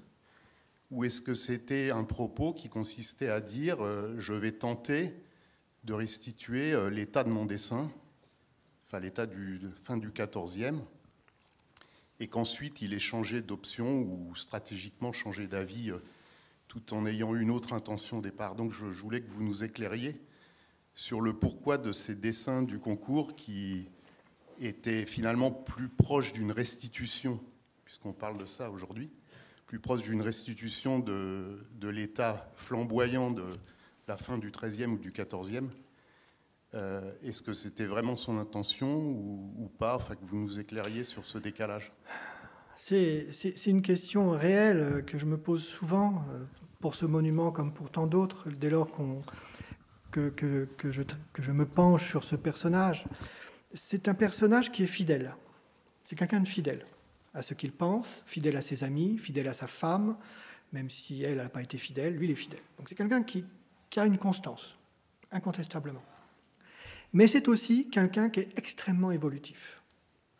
C'est quelqu'un qui se nourrit beaucoup de tout et qui évolue souvent plus rapidement que les autres, d'ailleurs, et qui n'hésite pas à changer euh, de fusil d'épaule. Et moi, je crois que le, projet de, 1843, c'est un projet à la fois politique, donc très archéologique, très euh, dans l'esprit du temps pour remporter le concours, et il y croit, et il, est d'accord avec ça. Mais aussi, il n'y a rien à faire, euh, euh, c'est un homme qui est fondamentalement projeté vers l'avenir. Donc, il n'a pas hésité, le moment venu, parfois avec de longues discussions avec la SUS, qui était plus archéologique, à faire évoluer les choses. Mais dans son esprit, ce n'est pas euh, un reniement. À chaque fois qu'il fait quelque chose, il croit dur comme fer que c'est bon et pour le monument et pour la société. La restitution de, des, travées du XIIe siècle, à la croisée du transept. Euh, c'est passionnant ça, parce que à la fois l'argument est structurel, renforcer la croisée pour cette nouvelle flèche, et à la fois, c'est le violet-le-duc qui s'exprime dans tout, tout ce qu'il est au fond de lui-même, c'est-à-dire un pédagogue. Viollet-le-Duc, toute sa vie, a instruit. A instruit en tant que professeur de dessin, a instruit sur les chantiers, a instruit à travers ses documents, livres archéologiques, les dictionnaires, etc. A instruit le grand public avec ses histoires d'une maison, d'une cathédrale, etc. Et qu'est-ce qu'il propose en fait par cette restitution du XIIe siècle qui vont côtoyer, qui côtoie toujours l'élévation du XIIIe siècle, c'est un cours d'architecture comparée, comme il a pensé le, le musée de sculpture comparée. C'est exactement la même chose. Donc à chaque fois, on trouve, l'historien trouve des, des réponses, mais à chaque fois, elles ne sont pas toujours satisfaisantes, bien sûr, tellement cet être est, polymorphe, polyédrique, complexe. C'est très difficile d'écrire la biographie de Viollet-le-Duc, c'est très compliqué. Je ne sais pas si j'ai répondu à votre question. J'ai un peu damé, un peu.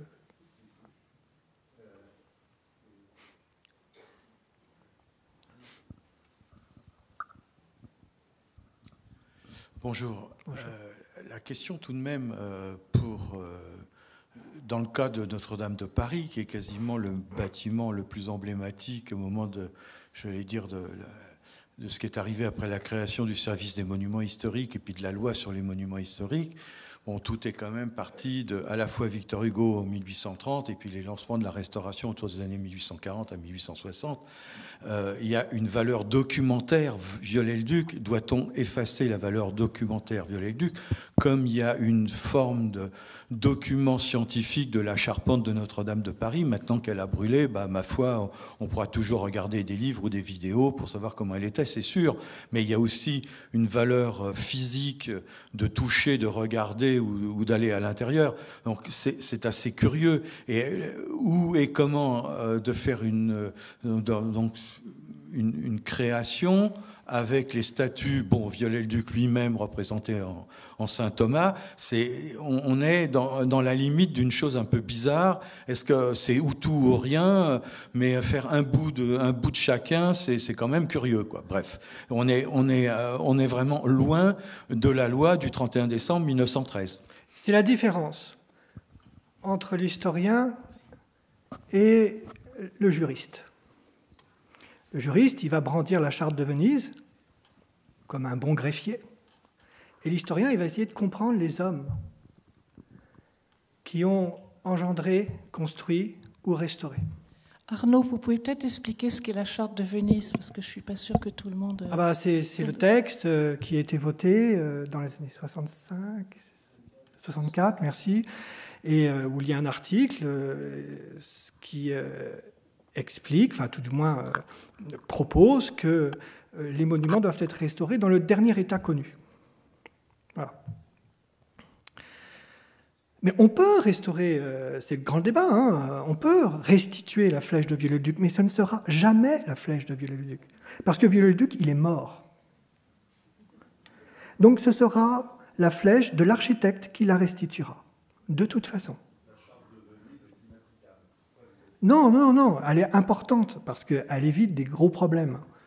Mais je veux dire par là que chaque monument est une histoire particulière. Hein. Ah, il ne vous a pas échappé que si la charpente de la cathédrale de Rodez avait brûlé, ça aurait fait une fois le 20 heures, comme l'on dit, puis on n'en aurait plus entendu parler.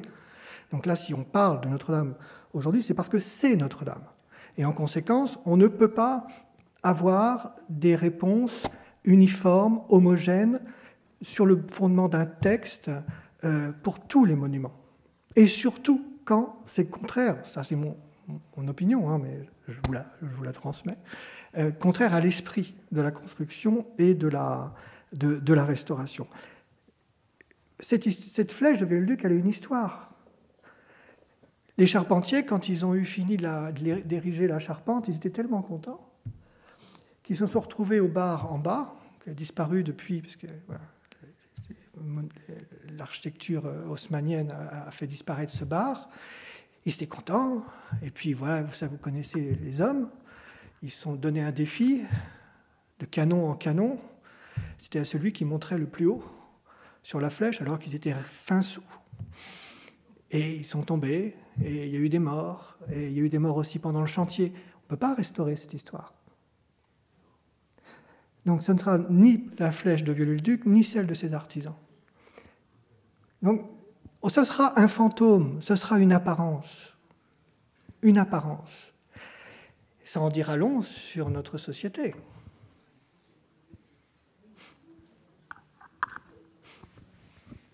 C'est le propre de l'école de Vienne, l'école de Vienne qui est une école d'historiens de l'art, qui est bloquée, bloquée sur les formes.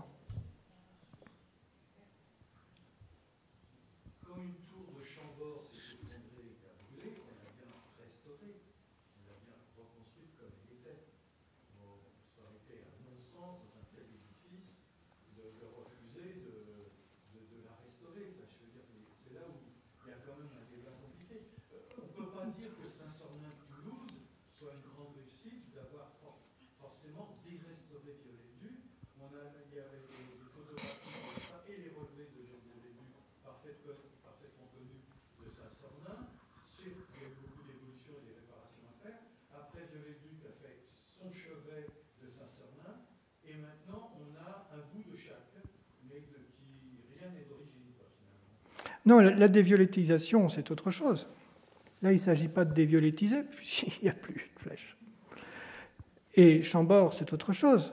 Chambord, c'est un château très homogène. En revanche, si vous aviez donné l'exemple de Fontainebleau, j'aurais peut-être pas répondu de la même manière. Fontainebleau étant une agrégation de tous les temps, euh, de toutes les formes, euh, depuis le XIIIe siècle jusqu'à la, jusqu'à la salle à manger de Poincaré. Bon, mais. Pardon? Mais le chapiteau, mais le château, c'est un château, c'est pas une église. C'est, un autre domaine. C'est pas pareil. Pas tout, c'est ça, il faut faire attention.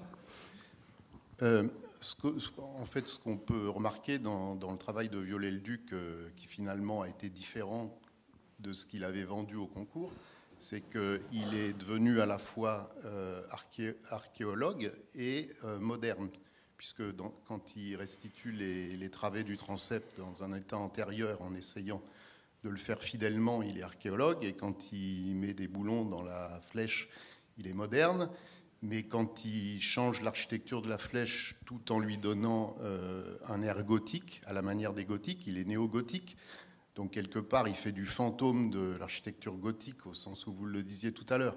Donc mm, mm, il est multiple dans, ses, dans la qualité de ses réponses, dans, la, dans les catégories de ses réponses. Mm. Euh, donc on pourrait, entre guillemets, faire comme lui, sauf que si on fait du néo-gothique aujourd'hui, on va dire c'est plus notre temps. Mais c'était son temps de faire du néo-gothique parce que le 19e euh, faisait du néo-gothique. Euh, ailleurs, et même dans des édifices euh, modernes, mais il, y avait aussi d'autres styles à cette époque-là qu'il aurait pu utiliser également, et qu'il qui s'est refusé d'utiliser. Et la question qui se pose aujourd'hui, et vous parliez de continuité, vous avez parlé euh, en termes d'esprit, vous avez parlé en termes de matériaux, en termes de savoir-faire. Donc moi j'entends tout ça et j'adhère. Par contre, il y a quelques chose aujourd'hui dans notre siècle euh, qui, euh, je dirais, par essence, euh, s'inscrit dans la rupture et pas dans la continuité, c'est bien la façon dont on construit l'architecture moderne aujourd'hui. Même si elle a ses grands monuments, elle aussi, la rupture, elle est au, niveau de, du savoir-faire justement des ouvriers. C'est-à-dire qu'aujourd'hui, le compagnonnage est réservé à la restauration des monuments historiques et justement dans un esprit de restitution. Il y a le chef-d'œuvre de chaque compagnon, mais ce chef-d'œuvre, il reste à l'école et il est souvent maladroit en termes d'architecture. Donc, est-ce qu'il y a aujourd'hui des compagnons qui ont euh, un talent de créativité qui leur permettrait euh, d'être euh, architectes d'une œuvre contemporaine qui puisse considérer qu'elle s'inscrit euh, dans l'architecture de notre époque. Je pense qu'il n'y a pas d'exemple. C'est-à-dire que l'architecture de notre époque, elle est industrielle, elle est technologique. C'est-à-dire qu'on va pouvoir euh, faire, euh, par exemple, une flèche métallique qui est fabriquée en usine sur. Pour être moderne aujourd'hui, il faudrait à la limite disqualifier les compagnons. Non, parce que. Non, mais c'est. Non, non, parce que. Moi, c'est comme ça que je le ressens. Non, mais oui, oui, c'est bien ce que vous dites. Mais en fait, ça, c'est. Vous savez, les cathédrales, au XIIe, XIIIe siècle, on peut considérer qu'elles sont faites en usine, entre guillemets, puisque tout est préfabriqué, tout est standardisé, tout est taillé déjà, sculpté en carrière, sur le fondement de dessins. Pierrefonds, l'ensemble des charpentes, l'ensemble des couvertures, l'ensemble des boiseries intérieures sont réalisés en atelier à Paris et livrés par le train. Ça a toujours été comme ça. C'est une question rationnelle, c'est le propos rationnel de Viollet-le-Duc. Le chantier a toujours été organisé de la manière rationnelle, mais ça n'a pas jamais nuit à la qualité du savoir-faire et à la maîtrise des matériaux et des outils traditionnels. Je ne sais pas s'il y a des compagnons dans la salle, mais euh, je voudrais réagir à votre propos parce que nous travaillons à l'école de Chaillot avec des compagnons du devoir, et il faut savoir que dans leur formation, aujourd'hui, un compagnon charpentier, il travaille avec du Kevlar, par exemple, en se demandant comment il peut utiliser ça. Et ils sont très portés sur non seulement les matériaux dits contemporains, les matériaux non pas d'époque, mais enfin, il y a de nouveaux matériaux qui apparaissent et avec lesquels ils composent. Et en particulier dans les réflexions que nous avons, puisque nous travaillons avec eux sur une maquette euh, avant l'incendie de la charpente de Notre-Dame, il se pose des questions sur, euh, euh, je sais que dans chaque coterie, comme on dit, il se pose des questions pour dire, tiens, qu'est-ce qu'on pourrait imaginer pour euh, redonner la silhouette générale de la, flèche de Notre-Dame, mais en la recomposant totalement d'un point de vue technique. Et finalement, c'est ça qui m'interpelle dans votre propos, c'est que Viollet-Duc aurait sans doute repris une toute autre technique, et il aurait inventé certainement une autre flèche, mais peut-être avec une silhouette qui se rapproche de celle que l'on connaît. Alors là, j'ajoute un propos supplémentaire, c'est que l'UNESCO ayant classé les berges de la Seine, etc., et la, silhouette de Notre-Dame en la décrivant euh, pompeusement, euh, on peut imaginer que dans le débat de la commission supérieure, qui ne manquera pas d'avoir lieu, il y aura certainement ce poids qui demandera à ce que la silhouette générale, de loin en tout cas, sans qu'on se rapproche trop près, euh, restitue la, flèche de Notre-Dame. Euh, je voulais citer aussi une phrase de Paul Valéry, sans être pédant, mais qui dit La véritable tradition dans les grandes choses n'est pas de refaire ce que d'autres époques ont fait, mais de retrouver l'esprit qui a fait ces grandes choses et en referait de toutes autres en d'autres temps. Et finalement, c'est le sens de votre propos. C'est-à-dire qu'il ne s'agit pas de calquer, de refaire strictement à l'identique, mais de retrouver l'esprit qui permettrait d'interpréter et de refaire une flèche euh, de notre époque, mais qui ne dénature pas non plus la silhouette générale de Notre-Dame. C'est ça le propos. C'est ça le propos. Et surtout d'éviter l'écueil de retomber dans tous ces débats qui, vous vous souvenez, ont alimenté la construction de la pyramide du Louvre, que personne aujourd'hui n'oserait dire que c'est une maladresse. Tout à fait. Je voulais simplement dire que nous avons construit une cathédrale au XXe siècle, c'est la cathédrale, c'est la cathédrale d'Evry. Voilà. Et donc, euh, nous avons construit une cathédrale faite par des. Mais en fait, euh, moi, pour ma part, justement, je n'ai aucune émotion, je, ne retrouve pas, grand-chose. Et nous avons aussi construit une, église à Créteil qui, euh, quand vous dites qu'il y a une lutte et tout, je ne ressens pas grand-chose dans ces deux monuments. Est-ce qu'il y a d'autres interventions? Est-ce qu'on lance le, débat de la commission supérieure avant l'heure?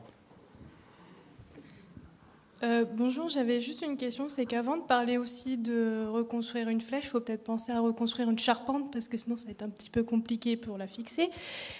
Et euh, nous, on avait, enfin quand je dis nous, des étudiants en histoire de l'art, on se posait la question, est-ce qu'on ne peut pas profiter de ce genre de chantier pour faire un, en quelque sorte de l'archéologie expérimentale Voilà, qu'en étudiant, parce qu'elle a été étudiée, réétudiée, euh, même euh, numérisée par Andrew Talon et Danny Sandron euh, dans les années 2000.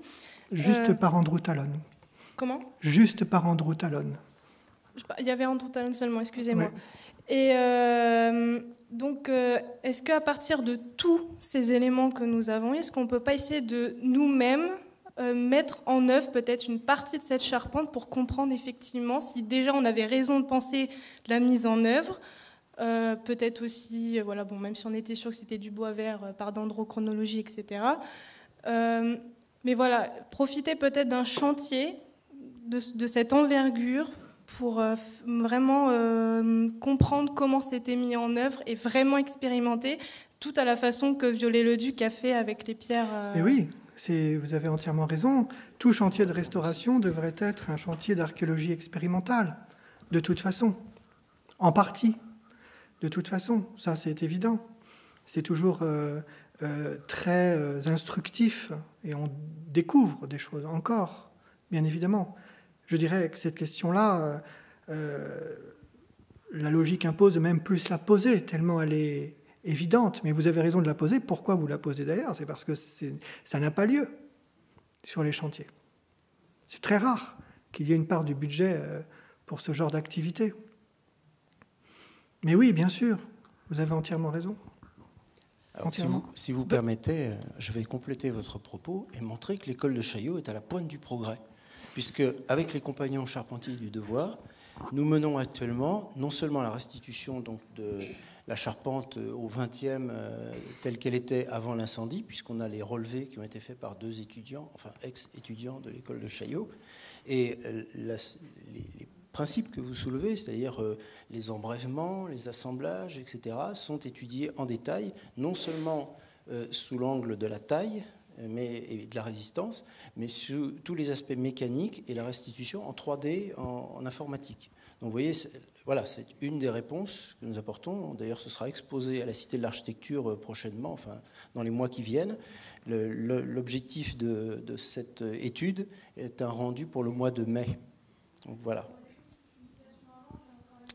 Avant, non. Ce sera difficile parce qu'ils sont en train d'y travailler, mais on a 14 étudiants de l'école de Chaillot qui sont activement euh, dans les coteries. Donc les coteries, ce sont les, les ensembles de, compagnons qui travaillent chacune, chacun dans leur, dans leur coin, dans ce qu'on appelle une renardière, c'est-à-dire un endroit un peu caché, dans lequel ils travaillent chacun sur une partie de la charpente. Donc euh, sur une travée, sur un ensemble, sur le cœur par exemple, sur une enrayure, etc. Et réalisent à la fois des maquettes au 10e et au 20e pour constituer l'ensemble de la charpente, mais également des éléments à grandeur 1,5 ou un tiers, de façon à avoir des assemblages particuliers, par exemple les poinçons, qui ont subi plusieurs travaux à différentes époques et qui ont été sous différentes formes. Donc c'est une réponse partielle, certes, à, votre propos, mais qui euh, se veut euh, scientifique, avec une démarche très rigoureuse, encadrée par un comité scientifique, de façon à ce qu'on on ait des éléments qui permettent d'enrichir aussi la connaissance de, cette charpente. Voilà. Même si on a une grande part des relevés. Et c'est de l'archéologie euh, au sens où vous le souleviez. Oui, bonsoir. Euh, alors, je, je, voulais revenir effectivement sur cette question de la, reconstruction, qui est effectivement un débat éminemment délicat euh, et dont on n'a pas fini évidemment de parler dans les prochains temps. Moi, j'avoue qu'à titre personnel, je suis assez ennuyé sur cette question. Alors, pour deux raisons. La première, c'est que je travaille depuis peu dans le domaine de la restauration des, monuments historiques au Centre des monuments nationaux.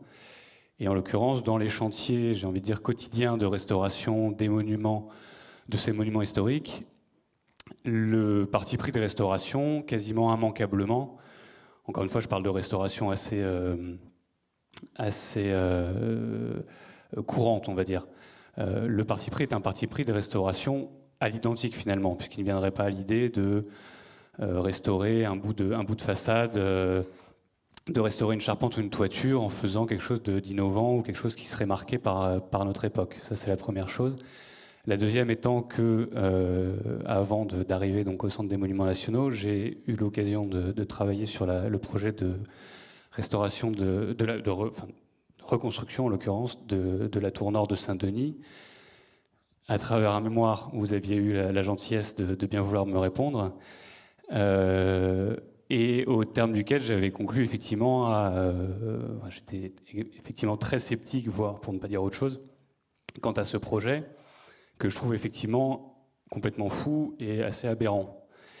Et là, j'avoue qu'avec Notre-Dame, et certainement parce que c'est Notre-Dame en effet, je suis beaucoup plus mesuré sur le parti pris de restauration à prendre, et que quand on me pose la question et que le débat s'installe, en général, à vrai dire, je ne sais pas quoi répondre. Et j'ai tendance, alors qu'encore une fois, je, condamne fermement euh, plutôt le, projet de Saint-Denis, à me dire, mais au fond, sur Notre-Dame, voilà, est-ce qu'il n'y a pas aussi la question du temps passé? Euh, Saint-Denis, ça fait plus de 150 ans. Il y a plus, plus personne ne, connaît Saint-Denis avec une seconde tour, une seconde flèche. Or, Notre-Dame, euh, voilà, on, est là dans cette actualité, une flèche qui a été détruite par le feu, tout le monde la connaît encore comme ça. Peut-être que c'est encore de l'émotion qui parle, mais bon, néanmoins, euh, voilà, j'ai l'impression quand même que la question du temps passé aussi entre la disparition de l'élément de l'ouvrage et la question de sa reconstruction peut jouer aussi dans la manière dont on aborde sa reconstruction. Voilà. Oui, vous avez entièrement raison. Euh, je suis content de faire votre connaissance d'ailleurs, euh, puisque nous avions discuté, mais pas, pas de visu. Vous êtes euh, embêté avec cette question, euh, comme beaucoup d'entre nous. C'est pour ça qu'on m'a demandé de parler un petit peu aussi. C'est pour donner la parole à des gens qui ont une opinion, on va dire. Et cette opinion, je ne la scène pas comme une vérité. Je ne détiens d'ailleurs aucune vérité et c'en est dramatique au quotidien.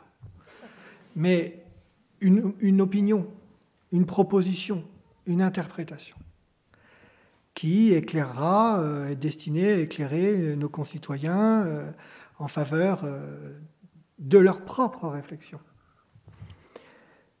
Ça, c'est la première chose. Donc, normal, moi aussi, je me pose des questions. Et je ne les ai pas encore bien formulées, d'ailleurs, les réponses.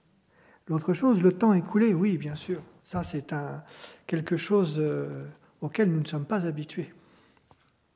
Ce laps de temps entre euh, la destruction, la catastrophe et euh, la, restauration qui adviendra est très court. Et en définitive, nous donne peu de recul. C'est pourquoi j'ai dit ce que j'ai dit. Pour rappeler des choses essentielles, d'ordre culturel, d'ordre judéo-chrétien. Qu'on le veuille ou non, c'est pas, c'est ainsi. Elle a été bâtie, restaurée dans un cadre judéo-chrétien qui tient compte d'une réalité spirituelle, des matériaux, des matériaux incarnés, etc. Lorsque on veut restaurer dans les monuments historiques, toujours dans nos sociétés judéo-chrétiennes, on veut toujours garder le matériau d'origine. Alors, euh, ça fait des fois des trucs étonnants sur les murs, euh, des vieilles pierres qui côtoient les, des pierres moins vieilles, puis des, des, pierres toutes neuves, mais on garde le matériau d'origine, pour des raisons économiques, au même titre qu'on remployait dans la construction médiévale. Mais aussi, essentiellement, on restaure comme on construit, c'est-à-dire on garde le matériau d'origine pour garder un lien avec euh, l'histoire. Et parce que ces matériaux, quand il s'agit d'Église, sont des matériaux incarnés. Dieu est dans la matière. Et c'est parce que la matière est un vecteur fondamental de l'accès à l'immatière dans notre religion, dans la religion chrétienne. On atteint l'invisible qu'en passant par le visible. Alors on en est dans ce rapport très matérialiste, mais aussi très spirituel, à la matière. C'est pourquoi j'entends déjà, je lis, que l'on va restituer, remettre des bouts de la charpente calcinée à droite, à gauche, des bouts de table de plomb, qu'on va peut-être refondre le plomb, et pourquoi pas d'ailleurs. Et cette démarche, elle est euh, véritablement conditionnée par une culture qui, est, euh, qui, nous, est, euh, qui nous est propre. Or, pour cette culture, il faut aussi du recul. Vous avez entièrement raison. Pour, pour articuler, engager cette culture dans une finalité qui concerne les monuments, il faut du recul, il faut de la pondération. Ça va manquer, mais il faut faire avec, c'est le défi aussi. Et c'est l'intérêt de discuter. C'est très important. Il faut que les débats se multiplient parce que c'est une question qui n'est pas une question de monument historique, c'est une question sociale, c'est une question nationale qui dira, encore une fois, beaucoup, beaucoup, beaucoup de ce que nous sommes et qui nous instruira en retour sur ce que nous sommes. Je trouve ça passionnant. Bon, bonsoir.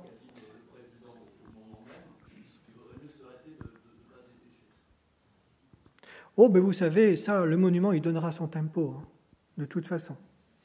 Il n'y a aucun souci à se faire. Euh, bon, bonsoir, je voudrais euh, tout d'abord dire que je suis assez en phase avec ce que vous avez exprimé comme opinion ce soir. En, tant qu'architecte, je suis d'accord avec votre opinion. Et je voudrais proposer une formule, euh, bon, qui n'est qu'une formule, mais qui pourrait contribuer justement, comme vous dites très bien, à faire circuler la parole et le dialogue. Euh, on pourrait imaginer qu'il faudrait reconstruire Notre-Dame sur Notre-Dame. Comme on dit aujourd'hui, il faut reconstruire la ville sur la ville, selon l'expression, euh, comment dirais-je, rendue populaire par Enzo Piano. Euh, en tant qu'architecte, aujourd'hui, comment on fait quand on travaille sur une dent creuse ou qu'on rénove un quartier dans, dans la ville? On se penche sur la ville qu'on aime et on fait une œuvre contemporaine en respectant l'esprit urbain général. Ainsi, on enrichit la ville pour laquelle on travaille et on est dans le siècle où on travaille. Et je pense que c'est exactement dans l'esprit dans lequel il faudrait effectivement reconstruire Notre-Dame sur Notre-Dame, avec toute la réflexion que vous menez et que devront mener les maîtres d'œuvre sur les matériaux modernes, les, les matériaux modernes, le mot moderne n'est pas bon, bien sûr, sur les matériaux d'aujourd'hui et de demain, sans doute. Euh, donc en travaillant aussi peut-être de façon un peu prospective, en faisant travailler des labos, en faisant travailler euh, des gens qui, des chercheurs qui vont euh, essayer de pousser encore un peu plus loin les, les matériaux d'aujourd'hui pour faire une œuvre d'aujourd'hui et qui reste respectueuse de ce qu'est l'esprit d'une cathédrale, qui est la cathédrale de France, avec son histoire chargée, tout ce que vous avez développé sur la continuité de ce que représente une église. Et c'est sans doute le défi à, relever pour euh, faire euh, une, une reconstruction digne de ce nom. Oui, je partage entièrement votre point de vue. C'est un défi. Est-ce que pour alimenter euh, le débat qui a l'air très très difficile, il ne serait pas intéressant de lancer dès maintenant des concours de propositions et des concours d'idées pour avoir en face des images, des, vues, des, reconstitutions fictives, sans engagement bien sûr de réalisation, mais lançons des concours d'architecture et de propositions. Alors, il ne vous a pas échappé que je ne suis pas le ministre de la Culture. Pas encore. Je, ne pense pas. Mais, euh, et je pense que c'est encore trop tôt. Parce que pour lancer des concours, il faut définir le protocole il faut, orienter euh, dans une direction. Et cette direction, elle doit être formulée. Et c'est sur le fondement de nos dialogues, de nos prises de parole, de nos croisements euh, d'idées que l'on finira, euh, que des hommes et des femmes chargés de cette question, finiront par formuler quelque chose qui ira peut-être dans la direction que je viens, que j'ai évoquée, et qui a été formulée de manière concise et précise par le président de la République euh, quelques heures, quelques jours après euh, la catastrophe, je ne sais plus, par l'expression un geste architectural. un geste architectural. Un geste architectural, ça peut tout à fait être ce que Viollet-le-Duc a fait et ce qu'il doit être fait dans le même esprit, un geste. Ce n'est pas une reconstruction totale, ce n'est pas quelque chose de totalement nouveau, un geste architectural. Et le terme de geste est très médiéval en plus. Mais enfin.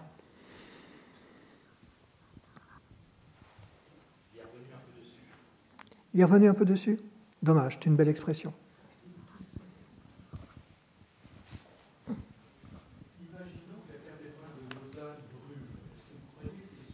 Un tel, euh, euh, si la cathédrale de Lausanne brûlait, est-ce que les Suisses feraient autant de débats que nous pour savoir ce qu'on doit euh, conserver ou pas par rapport à l'œuvre de de le duc Alors vous savez déjà que les, les Suisses, que j'aime beaucoup, il faut toujours aimer les Suisses, c'est important pour la neutralité du chocolat. Les Suisses ont déviolettisé la flèche de Lausanne. Non, non, ils ont retiré entièrement la couverture, le matériau qui avait été choisi, ainsi que la couronne euh, enfin presque au sommet, de, gables revêtues de plomb qui faisait contraste avec l'ardoise, au profit d'une flèche qui est, qui, est, maintenant neutre et, recouverte de, tuiles. Donc les, les, à, chaque, à chaque monument dit historique, un regard particulier d'un peuple qui s'approprient ces monuments historiques. Et euh, nous, là, on est devant, et moi je trouve ça plutôt positif, devant. C'est bien que Notre-Dame, ce soit Notre-Dame, parce que si c'était encore une fois une autre, on n'en parlerait pas. Et ici, on en parle parce que ça fait, ça rassemble tout le monde. Pour une fois que ce n'est pas quelque chose de terrible, euh, c'est plutôt positif parce que justement, cette question, elle est, elle, est, elle est, nationale et on va, chacun d'entre nous, à notre niveau, selon notre culture et nos émotions aussi, comme l'a évoqué Madame tout à l'heure, on va apporter des éléments de réponse qui seront en rapport avec notre histoire collective. Et le suisse, l'allemand, l'allemand, bien sûr, l'anglais encore moins, ne, réagirait de la même manière. C'est des cultures différentes parce que ce sont des histoires différentes et un rapport au monument ici national qui est différent. Notre-Dame de Paris.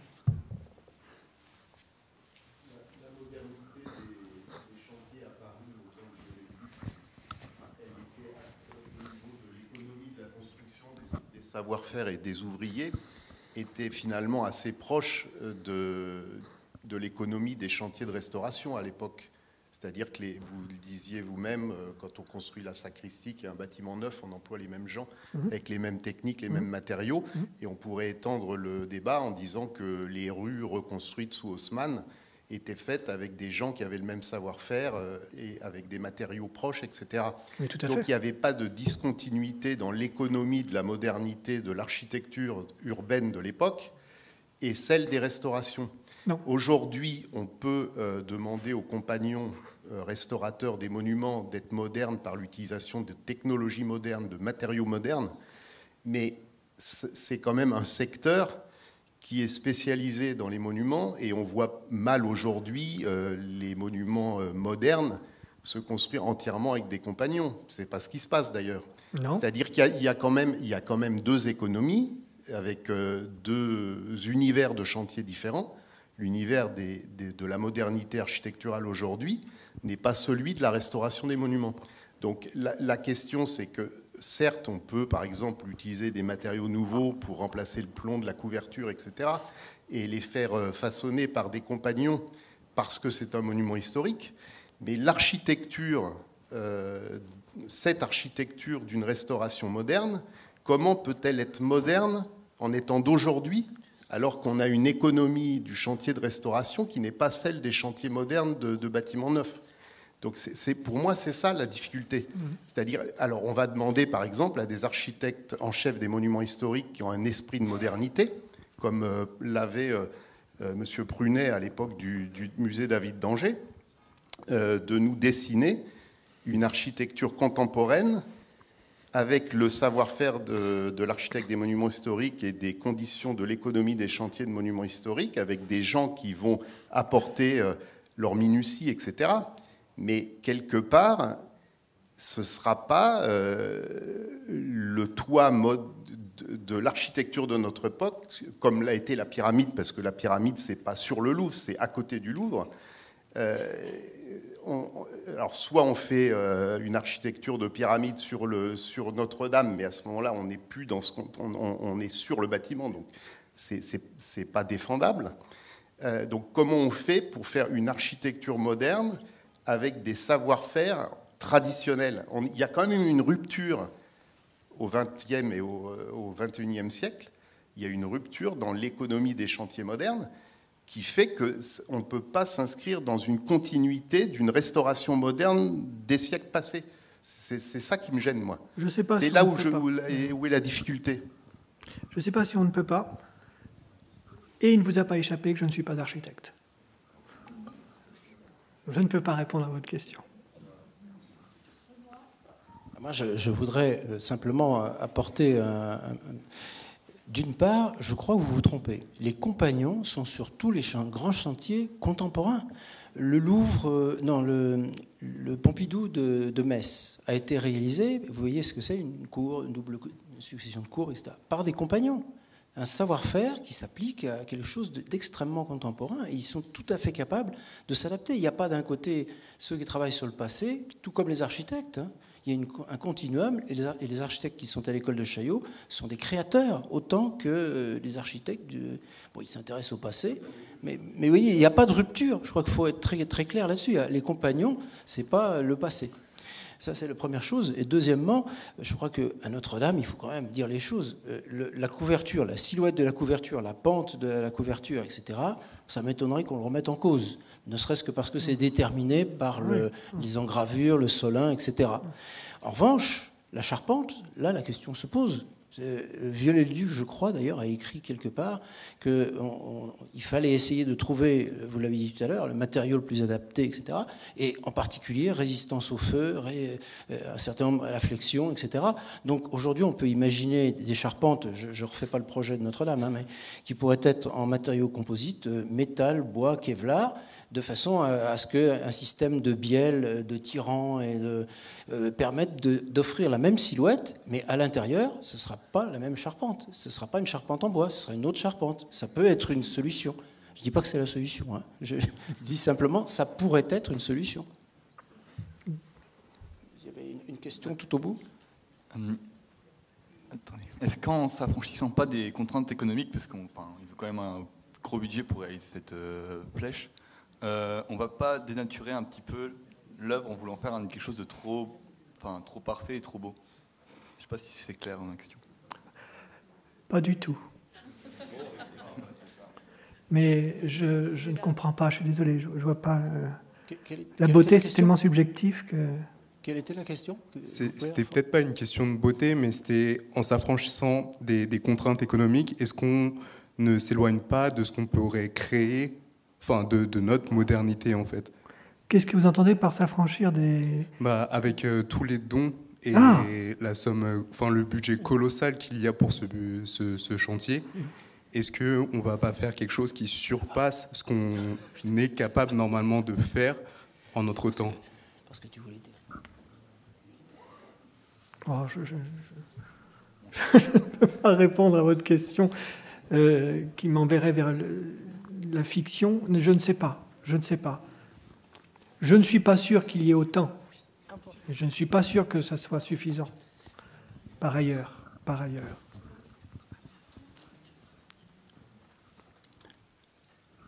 Oui, je voulais poser aussi une petite question euh, sur euh, ce qui est vu et ce qui n'est pas vu. Donc la flèche est vue, la charpente n'est pas vue, qui parle? elle ne sera pas vue. Euh, de l'extérieur. Et donc, euh, on peut avoir des, solutions fondamentalement différentes intellectuellement. Et d'autre part, euh, je ne sais pas si vous avez lu l'article sur Philippe Prost, qui, a, qui est paru dans Télérama, ou qui a fait de remarquables réhabilitations de toutes sortes de bâtiments. Et en, il parlait beaucoup de modestie, d'intervention modeste. Et je pense que cette flèche qui, qui été classée monument historique, euh, Je ne parlerai surtout pas de geste architectural, mais de quelque chose de modeste, se rapprochant, peut-être pas complètement, mais le plus possible de l'état avant incendie. Non, c'est très bien ce que vous dites, c'est très beau. Euh, je suis, euh, on ne peut être que humble et modeste devant de telles réalisations. Cependant, je doute que ceux qui les ont engendrées l'étaient. On en revient donc à l'esprit pour rêver de tels monuments, pour les dessiner, pour rassembler les sommes en tant que commanditaires et les hommes pour engendrer de tels bâtiments. Il faut euh, avoir une idée euh, du défi, il faut avoir une idée euh, véritablement. Il faut oser l'avenir. Au Moyen Âge, au XIIe, au XIIIe, comme Viollet-le-Duc au XIXe, il ose l'avenir. Ça peut passer pour un manque de modestie, peut-être, mais c'est l'esprit dans, lequel a été, a été construit et restauré ce monument. Par ailleurs, ce que vous dites sur euh, le visible, les matériaux visibles et effectivement, c'est très important parce qu'il y a une chose dont on ne parle jamais, c'est la couverture en plomb de la, cathédrale. Alors on en parle parce que ça a contaminé euh, tout, tout, Paris, mais enfin une partie. Mais cette couverture en plomb, alors pour le coup, il faut la restituer. Après, la technique, etc., c'est autre chose. Mais il faut une couverture en plomb, parce que depuis l'Antiquité, depuis la plus haute antiquité de cette cathédrale, comme de toutes les cathédrales, et c'est encore le cas de la cathédrale de, Rouen, par exemple, euh, qui avait une cathédrale antérieure, avant la cathédrale de Rouen, il y avait une cathédrale antérieure qui était elle-même couverte en plomb, et ce plomb a été réemployé pour couvrir la cathédrale gothique, etc. etc. Le plomb est un matériau qui marque le monument dans la ville. Le monument majeur, le monument le plus important, il est couvert en plomb rehaussé à la feuille d'or par ailleurs, le plus souvent, de telle sorte que non seulement le matériau distingue la cathédrale des autres édifices, mais aussi parce qu'il est revêtu à la feuille d'or, la cathédrale brille.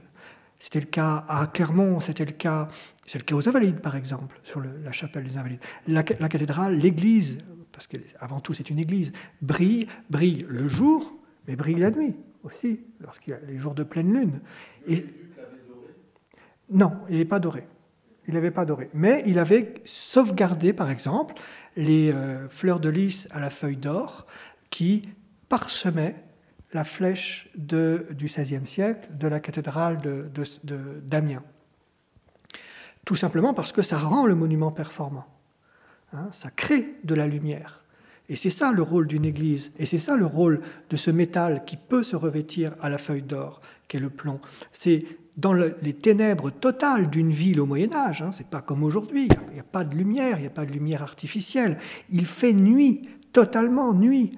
En conséquence, seul le point lumineux, le phare dans l'obscurité, matériel et métaphorique, c'est la cathédrale, c'est l'Église. Donc il est important de garder au moins le plomb et de faire des recherches sur son décor au Moyen Âge. Il est impossible qu'elle n'ait pas été, enfin, on ne peut pas dire ça, mais il est, quand même improbable qu'elle n'ait pas été euh, euh, décorée. La cathédrale de, Cologne euh, était écrit en, abrégé des, versets entiers sur la couverture. C'est-à-dire que la cathédrale, on la voyait de très très loin. Et on pouvait lire, c'est-à-dire dire la cathédrale avant même d'y être. Et dans une religion du verbe, c'est fondamental. Et ça joue dans la performance de, la cathédrale. Une couverture qui se dit, qui se lit, comme ceci. il y a de très beaux articles de ma femme là-dessus. Je pourrais, vous, je pourrais vous les, les, communiquer. Oui, moi je voudrais vous poser une question et préciser votre, finalement votre prise de position. Euh, parce qu'il y a deux débats. Il y a effectivement celui entre euh, innovation, conservatisme. Je crois qu'on ne vous entend pas derrière, si vous voulez bien. Donc euh, la question du conservatisme est simple. D'ailleurs, ça dépasse la question de l'histoire de l'art, c'est un positionnement et philosophique et politique. Mais quand on choisit, quand vous dites il faut oser l'avenir, la difficulté, c'est qu'il n'y a pas un avenir, il y a des avenirs. Quand j'entends, euh, même ici dans cette salle, des gens qui euh, pourraient s'écarter euh, de l'autoreproduction, on voit bien que oui, mais de loin ça doit ressembler, ou peut-être oser et oser davantage, et marquer les esprits. C'est-à-dire qu'entrer dans le débat de s'écarter, c'est effectivement entrer dans un débat qui est est-il possible, dans cette situation telle qu'on est aujourd'hui, de construire un avenir commun. Une vision commune d'un avenir pour un monument, mais comme vous dites, emblématique, puisque euh, tel que vous nous l'avez présenté, il y, a toujours un équilibre entre le côté mémoriel des choses et l'innovation euh, chez Viollet-le-Duc et dans toutes les églises finalement. Euh, c'est un point d'équilibre, donc un point commun. Est-ce que euh, dans 50 ans, on dira que sa société était finalement conservatrice Elle était peut-être modeste, une vision modeste, ou elle n'a pas su créer un avenir commun C'est ça, mais vous avez totalement résumé les choses. Ça a l'air de peu de choses, mais c'est un élément de, concrétion et de, enfin de, concrétion de la société, où la société, autour de cette modeste flèche,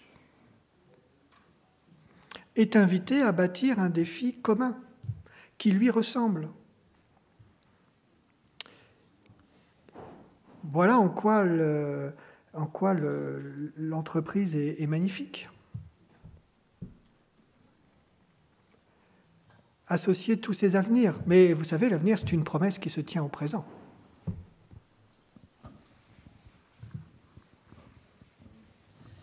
Bien. Écoutez, je, crois que ce sera le mot de la fin, en vous remerciant infiniment, à de cette intervention.